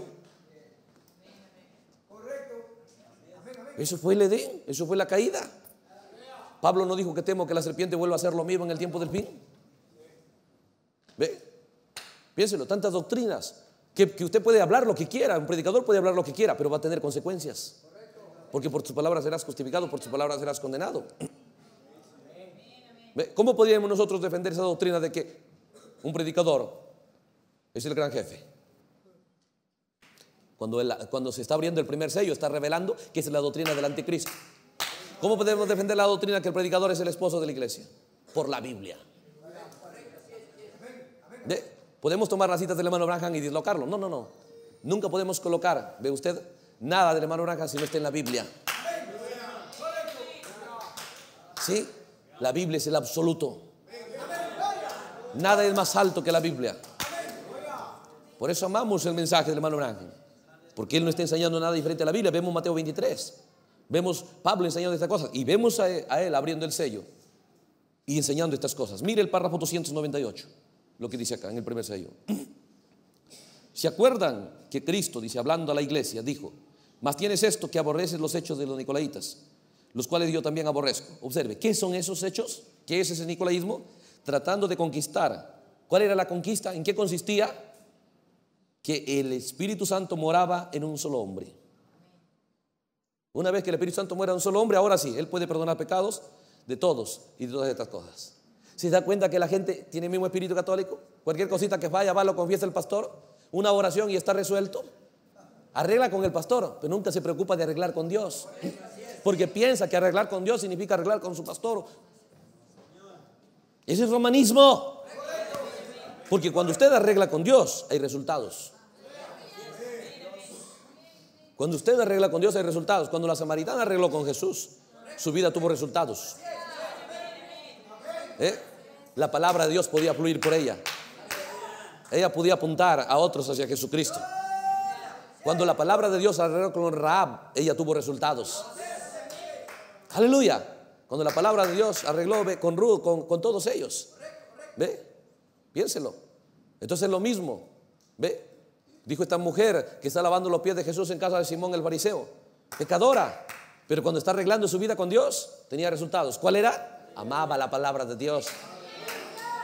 Lavaba sus pies con su cabello. Su amor por la palabra de Dios era ilimitado. El amor a la palabra de Dios es la evidencia del perdón. Pero este énfasis es buscar enfatizarnos todo en un hombre. El amor que debería ser para Dios ahora es dirigido al predicador. Allá es un sacerdote, por ahí es un presbítero. En el mensaje es un predicador, un pastor, lo que sea. Pero dice aquí el párrafo 299, y acabamos de leer esto, donde Pablo habló al respecto. ¿Qué cosa? que esa cosa estaría en los últimos días, pero que no podía ser revelado hasta que los últimos días venga. Él dijo que hay algo que lo detiene. Observe, cuando miramos acá, queremos ir un poquito para avanzar en el párrafo 309. Ah, es tremendo este sello, hermano, cuando Dios lo abrió. Pero, uy, la hora. Vamos, vamos a avanzar para poder ir a la Biblia otra vez. 309. Eh, en el 308, en el 308, hermano Branham está abriendo el primer sello y, nos está mostrando que eso es Daniel, el libro de Daniel capítulo 11. Ya usted lee. Pero va a leer específicamente el verso 21 de Daniel. Y en el 21 dice, sucederá en su lugar un hombre despreciable, dice ese Roma, al cual no darán la honra del reino Está hablando del reino del pueblo de Dios. Ahora, el reino de este mundo también va a tener sus resultados. Pero esa es la gran tribulación. Pero antes de eso se propone asaltar el reino de Dios. Dice, pero vendrá sin aviso, escucha, y tomará el reino con halagos. Con halagos. Leamos entonces el 309, dice. Fue exactamente lo que hizo. Eso es lo que Daniel dijo que haría este anticristo, el cual cuadrará con lo del pueblo. Él llenará el menú del día de las iglesias. Usted sabe lo que es un menú, ¿no? ¿Ve? Cuando le llaman a almorzar y no hay menú, simplemente no tiene opción de escoger. Pero un menú le dicen escoge lo que quieres. Y cuando, y cuando dice el anticristo viene al púlpito, cada creyente escoge lo que quiere vivir. Por eso usted va a encontrar a unos viviendo de una, de una manera su vida cristiana, en un nivel ahí, otros ahí, otros ahí, otros más abajo. Cada uno escoge su propio menú. Pero en Dios no hay menús. No hay caminos. En Dios solo hay un camino, hay una verdad, hay una sola fuente de vida. Él es el camino, Él es la verdad y Él es la vida. Entonces el profeta dice, ve, nos empieza a revelar. ¿Cómo sabremos reconocer ese espíritu? ¿Ve? Se va a permitir que la gente escoja la manera de vivir y, va a decir, hay que respetar, el hermano lo ve así, y el hermano lo ve así, y el hermano, piénselo. ¿Ve? Pero cuando viene, cuando viene la iglesia verdadera, que es el libro de los hechos, Dijo, no, pues hay que respetar. Ananías lo ve así. Zafira, no, no, no. ¿Ve? Por eso dijo, ojalá mejor fueras frío. Porque cuando toma lugar el liderazgo de Dios de su iglesia, es tremendo, hermano. Entonces dice aquí, porque en esta edad de la iglesia, observe, dice, el cuadrar con lo del pueblo, él llenará el menú del día de las iglesias. No está hablando del mundo, ¿eh? está hablando, claro, sabemos al anticristo que va a ser allá afuera, pero ¿qué hará con la iglesia? El menú del día de las iglesias. Escucha esto. ¿Por qué dice? Porque en esta edad va a pasar algo en la iglesia. En esta edad de la iglesia no quieren la palabra. En esta edad, dice, una cosa va a pasar en la gente. La palabra de Dios llega a ser algo que no les provoca deseo. Han perdido su deseo por la palabra de Dios. Pero el diablo no es alguien, él es muy astuto. Para que usted no se dé cuenta, de repente acá hay unas doce sillas. ¿Qué hace él? Él puede sacar las doce, pero no lo deja vacío. Lo reemplaza con otras más malas. Lo sustituye. Y usted dice, ahí están mis doce sillas. Pero si usted lo examinara bien, ya no son las mismas. Si él quitó en la gente su deseo por la palabra de Dios, su amor por la palabra de Dios, ¿qué ha tomado lugar? ¿Qué ha reemplazado eso? Mire acá. Qué tremendo, porque esto es el Espíritu Santo abriendo este misterio. Nunca se supo. Nunca se supo. Pero ahora dice, ve, este, en esta edad de la iglesia no quieren la palabra, es lo único. Todo lo demás sí, pero no la palabra. Cristo dice, escuche, quieren más bien una iglesia. Eso, eso, eso lo sabe usted adentro de usted. ¿Qué más vale para usted? Porque si el predicador es cerrado, solamente está preocupando, a ver, oye, el hermano no ha venido, hay que ir a visitarlo. Él solamente quiere ver la gente en la iglesia. Pero no importa si ya tiene 10 años y no sabe nada de la palabra, no le importa eso. Si el espíritu errado está en el púlpito. No le importa ver su gente en la palabra de Dios. Ve. Pero si es Jesucristo en escena, San Juan 8. Señor, ya creemos en ti, le dijeron. Así le dijo. Señor, ahora te vamos a seguir a ti como nuestro maestro. Dijo, yo no les acepto, salvo que permanezcan en mi palabra. Qué tremendo. Les puso condiciones. ¿Quieren que yo les lidere? Dijo, bajo esta condición. Pero hoy día no, no, no solamente que vengas a la iglesia. Si faltas, ahí voy a buscarte. Si estás en la palabra, no importa. Revelando que esto no es, no es algo simple. Esta es una obra tan mala y tan diabólica que nadie lo sabría si no hubiese abierto Dios el sello. No parece malo al ojo, al entendimiento, a mi sentir, a mi parecer. Si lo consulto, no me parece malo. Porque el hermano va con sinceridad a la iglesia, es bondadoso, nunca se porta mal, ¿ve? Hace todas las cosas correctas. Qué malo me va a parecer eso. No es lo que nos parece en esta hora. Es lo que Dios ha revelado en esta hora. Es lo que Dios ha mostrado en esta hora. Es lo que Dios ha puesto en su palabra en esta hora. Entonces, Dice aquí. Ellos no decían Cristo la palabra. ¿Ve? ¿Qué es lo que quieren? Dice, quieren más bien una iglesia. Para comenzar, dice, no le pregunta si usted es cristiano. El principal énfasis dice, ¿a cuál iglesia pertenece usted? ¿De cuál iglesia eres? Bueno, ¿cuál tabernáculo aquí? Es lo único, es lo único, la única curiosidad. No le preguntan nada de la palabra, nada del verdadero cristianismo, nada del nuevo nacimiento. Pero, ¿a dónde? ¿A cuál iglesia pertenece usted? ¿A cuál iglesia? Ellos no desean, escuche, ellos no desean Cristo, la palabra, qué tremendo. La obra del anticristo es solamente un logro. Si logra eso, lo demás es pan comido. ¿Cuál? Que su deseo por la palabra sea inferior a su deseo por iglesia. ¿Qué es una iglesia? ¿Ve? Pastor, un local, hermanos, es una iglesia. Diáconos, cantantes, músicos, todo eso les importa más que la palabra de Dios. Dios abriendo el sello. Mente humana jamás va, a entender eso. Nunca lo íbamos a asimilar. Hermano Branham iba a predicar en otra dirección. Es más, iba, dijo, yo leí lo que dijo Smith del primer sello. Pero cuando Dios la está abriendo, entonces empieza a mostrarnos, dice, ¿cuál sería el problema? Dice, colocarlo todo solo sobre un hombre, apuntar a un hombre. Jesús dijo que eso sería en Mateo 24. Dirán, aquí está el hombre, aquí está el hombre, aquí está el hombre. Tratando de colocar un hombre sobre los demás. Pero vosotros, digo que son mi iglesia verdadera, nunca hagan eso. Todos sois hermanos. Y en el libro de los Hechos no lo hicieron. Por eso que Dios estuvo en su medio. Dios no comparte su gloria con nadie. Pero usted mire aquí. ¿A cuál iglesia pertenece? ¿A cuál iglesia? Ellos desean Cristo, la palabra. Uno va y les habla la palabra y les dice cómo arreglar sus vidas y verá que no quieren eso. Qué tremendo. Lo que debiéramos examinar en esta hora. ¿De, ¿Vos de qué estamos? ¿Cuál es nuestro interés? ¿Ve? Ellos no quieren arreglar sus vidas. Verá que no quieren hacer eso. Ellos desean algo que les permita vivir como les plazca. ¿Qué cosa? Ahora, está revelando al anticristo. Trabajará en el deseo de la gente. Trabajará, ve usted, en el deseo de la gente. Afectará su deseo. El anticristo trae un ataque al deseo hacia la palabra de Dios. El interés en la palabra de Dios. Pero lo reemplaza. Usted deseará iglesia, deseará compañerismo, deseará culto, deseará canto, deseará todo. Pero no la palabra de Dios. Es el logro del anticristo. Para que el fin del mundo venga, una cosa tiene que estar en la tierra. Vimos en Jeremías. Lo vemos aquí en el sello.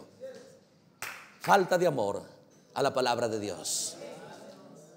Es tan malo que aunque no nos parezca, pero Dios revela esas cosas.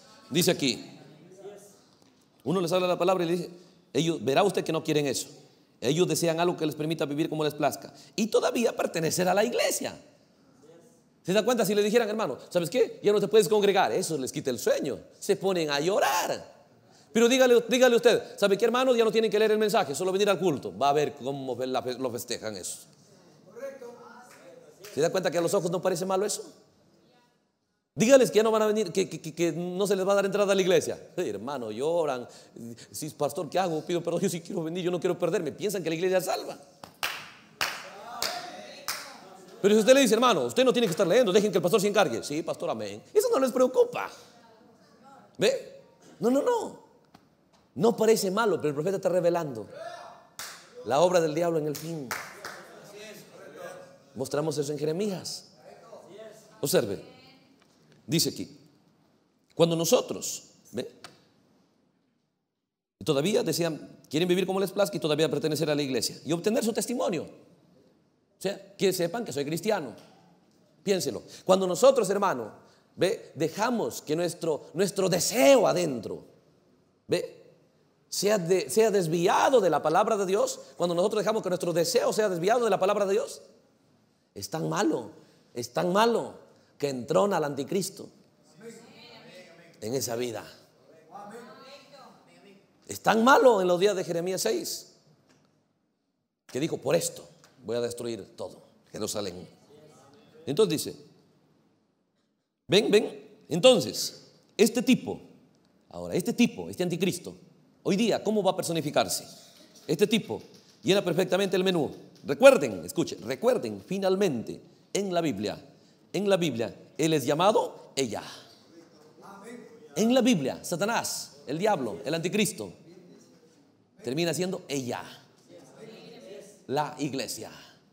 Dios es la palabra. Pero dice que es Él, Satanás, será llamado ella.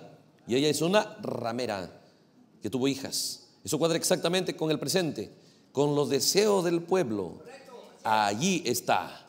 Pero Dios lo ha prometido Escucha esto, cuando la palabra es rechazada, revelando el sello, yo le leí Jeremías, uy hermano, tal vez no hay tiempo para ir allá, a Jeremías, pero dijo Jeremías, por cuanto no amaron mi palabra y se avergonzaron de mi palabra, ya no hay quien detenga el juicio.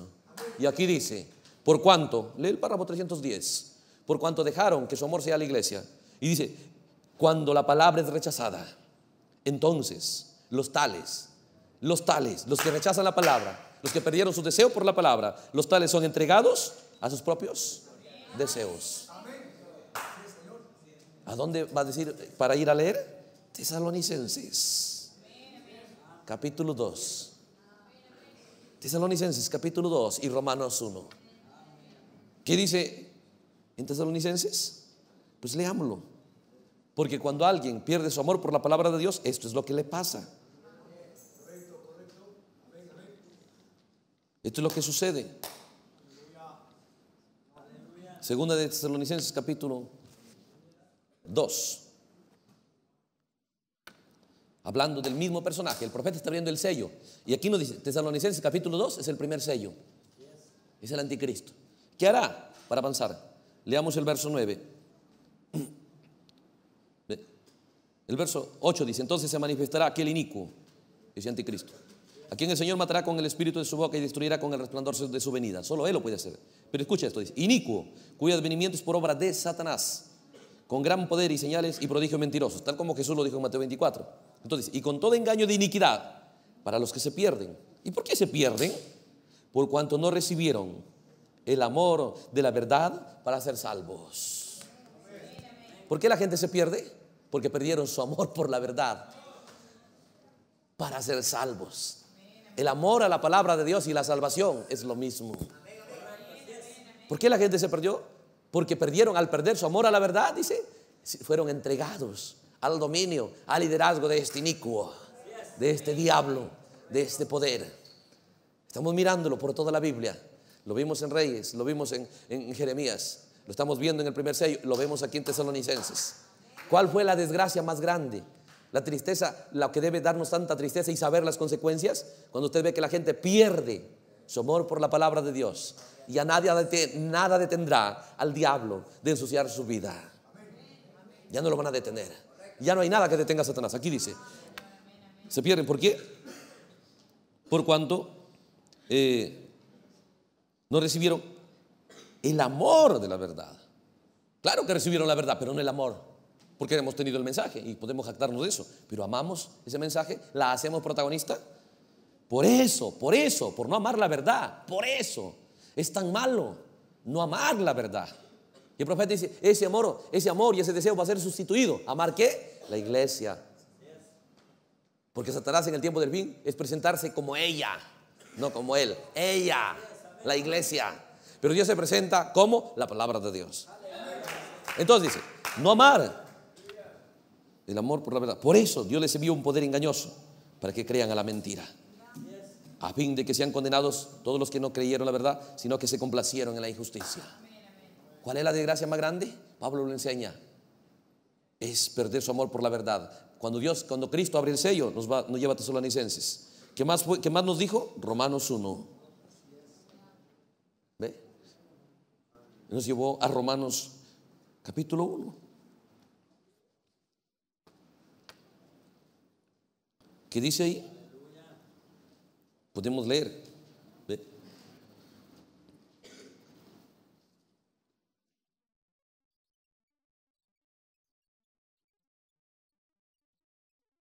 Desde el verso 28. Dice, y como ellos no aprobaron tener en cuenta a Dios, observe, no aprobaron tener en cuenta, no preeminencia, Dios los entregó a una mente reprobada para hacer cosas que no convienen estando atestado de toda injusticia, fornicación, perversidad, avaricia, maldad, lleno de envidia, homicidios, malignidad, murmurador, detractor. Uy, hermano. Es tremendo. Por cuanto, dice, no amaron la palabra de Dios, no tuvieron en cuenta, no buscaron el liderazgo de la palabra de Dios. ¿Se da cuenta cómo, cómo la vida va a degradarse? Hermano, esas cosas están en la tierra. Dios quiere sacarnos de esa inmundicia, sacó a Rahab en el día del juicio. ¿Puede sacarlo a usted? ¿Cuál es el medio? El amor a la palabra de Dios. ¿Puede amar lo que no conoce? Vive un tiempo. Júntese diariamente con la palabra de Dios. Júntese con Isaías, con Jeremías, con Amós, con Oseas. Gente que amó la palabra de Dios. Gente que no la traicionó. Júntese con, otro en el tiempo del fin, el hermano Ranjan. Todos los días con su mensaje. Dime con quién andas. Te diré quién eres. Pablo. se lo valoraba más lo que decía Gamaliel hasta que se juntó con los de la Biblia. Entonces su entendimiento cambió, su enfoque cambió. Ahora vamos a terminar yendo, regresando rápidamente a Jeremías.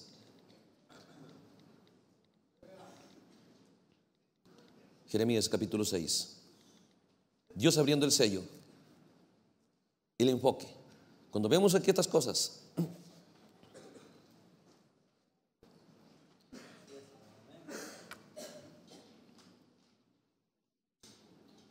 nos damos cuenta aquí decía que Jerusalén va a ser destruida. ¿Por qué? Dice el verso 10, ¿a quién hablaré y amonestaré para que oigan? Y aquí que sus oídos son incircuncisos y no pueden escuchar. He aquí, escuche, que la palabra de Jehová les es cosa vergonzosa, no la aman. ¿Qué es lo que Jeremías pide? Amor a la palabra de Dios. ¿Qué es lo que Pablo pide? Amor a la palabra de Dios. ¿Qué es lo que el sello, al abrir el sello, pide? Amor a la palabra de Dios. Revela porque ha sido sustituido. Pero dice, por cuanto no aman la palabra de Dios, dice, por tanto, por eso estoy lleno de la ira de Dios. Las siete copas. Estoy cansado de contenerme, la derramaré. Observe, el perder el amor a la palabra de Dios, viene la desgracia a los niños. ¿Por qué cree que hay tanto niño hambriento? La gente dice, ¿por qué hay tanta enfermedad? ¿Por qué hay tanto hambre? ¿Por qué hay tanta desgracia? ¿Cuál es la causa de todo ello? No aman la palabra de Dios. Solo una cosa, no aman la palabra de Dios.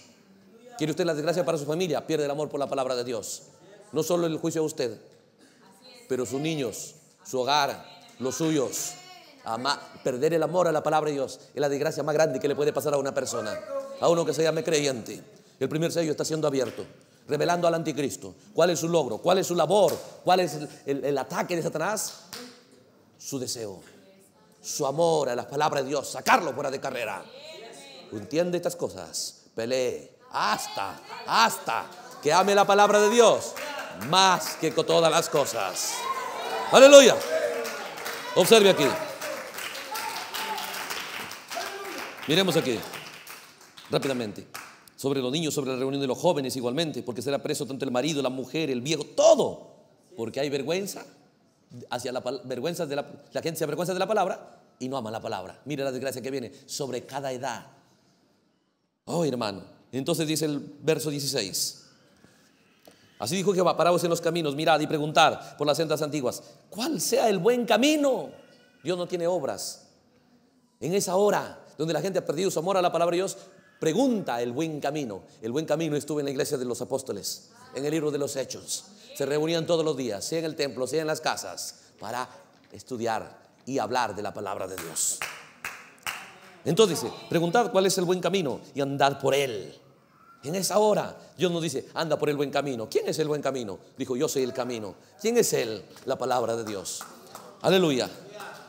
Y hallaréis descanso, no solo para el cuerpo, no solo para el espíritu, aún para el alma. Pero dijeron, no, no, no, la palabra de Dios no. ¿Qué dijo el que está en el infierno? El joven rico en el infierno, ¿qué dijo? No, Padre Abraham, la palabra no. Qué tremenda estas cosas. Solo estoy corriendo rápidamente porque quiero leerles aquí. ¿Ve? Puse atalaya sobre vosotros que dijesen, escuchad el sonido de la trompeta. Dijeron, no la escucharemos. Qué tremendo. ¿Ve? Ya, solamente voy a leer este, este, este nomás. Verso 19 dice, oye tierra, he aquí yo traigo mal sobre este pueblo el fruto de sus pensamientos. ¿Sabe dónde empieza el mal? El mal empieza en sus pensamientos. Satanás lo sabe. Nada puede sucederle a usted que no empiece en su pensar, en su desear. Si en su desear desea el mal, eso le vendrá a usted. Toda siembra tiene cosecha. Por eso dijo, por cuanto no amaron a Dios, lo entregó a una mente depravada, para que piensen solo el mal, para que vivan codiciando. No pueden ver a una hermana con respeto, no pueden ver a los hermanos de esa manera. La inmundicia los gana, los derrota. Entonces, ellos recibirán el fruto de sus pensamientos porque no escucharon qué? Mi palabra. Y aborrecieron mi ley. Qué terrible, qué desgracia más grande es esa. Oh hermano, estas son cosas claves. Llévese en su corazón, trabaje con ellas. Hay medicina, hay una opción, hay un acceso hacia esa edad gloriosa del libro de los hechos. Dios lo ha prometido, lo desea, ha dispuesto traer de regreso esa clase de fe en usted. Para eso lo ha llamado. Pongámonos de pie. Vamos a orar. Aleluya. Dios permite. Bueno, hay mucho, mucha escritura aquí. Y nos da otro tiempo, bueno, nos reuniremos alrededor de ello. Vamos a orar. Dios bendiga a todos los hermanos y también a los hermanos que estuvieron conectados, a donde Dios permita que su palabra llegue y sea una ayuda para ellos en su relación con Dios. Oremos, Señor, en el nombre de Jesús, agradecemos la oportunidad que nos has dado para enfocar nuestra atención, Señor, en tu palabra. El tiempo queda corto, Señor, tu palabra es tan abundante. Te damos gracias por ello. Pero, Señor, ninguno, que cada uno tomemos la decisión. Esto no, se, no termina aquí. Que cada uno vaya dispuesto, Señor, a seguir mirando por tu palabra, Señor, estas verdades, examinándolo, anhelándolo, Señor, deseándolo entonces tú responderás, porque el que busca haya y al que llama se le abrirá. Esas son tus promesas, Señor.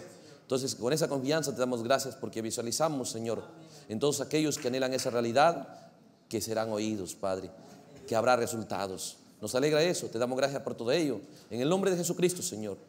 Oh, Padre, nos queremos encomendar a ti, hermanos también, que tendrán que regresar a sus lugares. Encomendamos cada uno a ti, Señor, que vayan en su compañerismo contigo, en su mundo invisible, Señor. Oh, Padre, en el nombre de Jesús, gracias por todo, Señor. Amén. Dios los bendiga. Aleluya.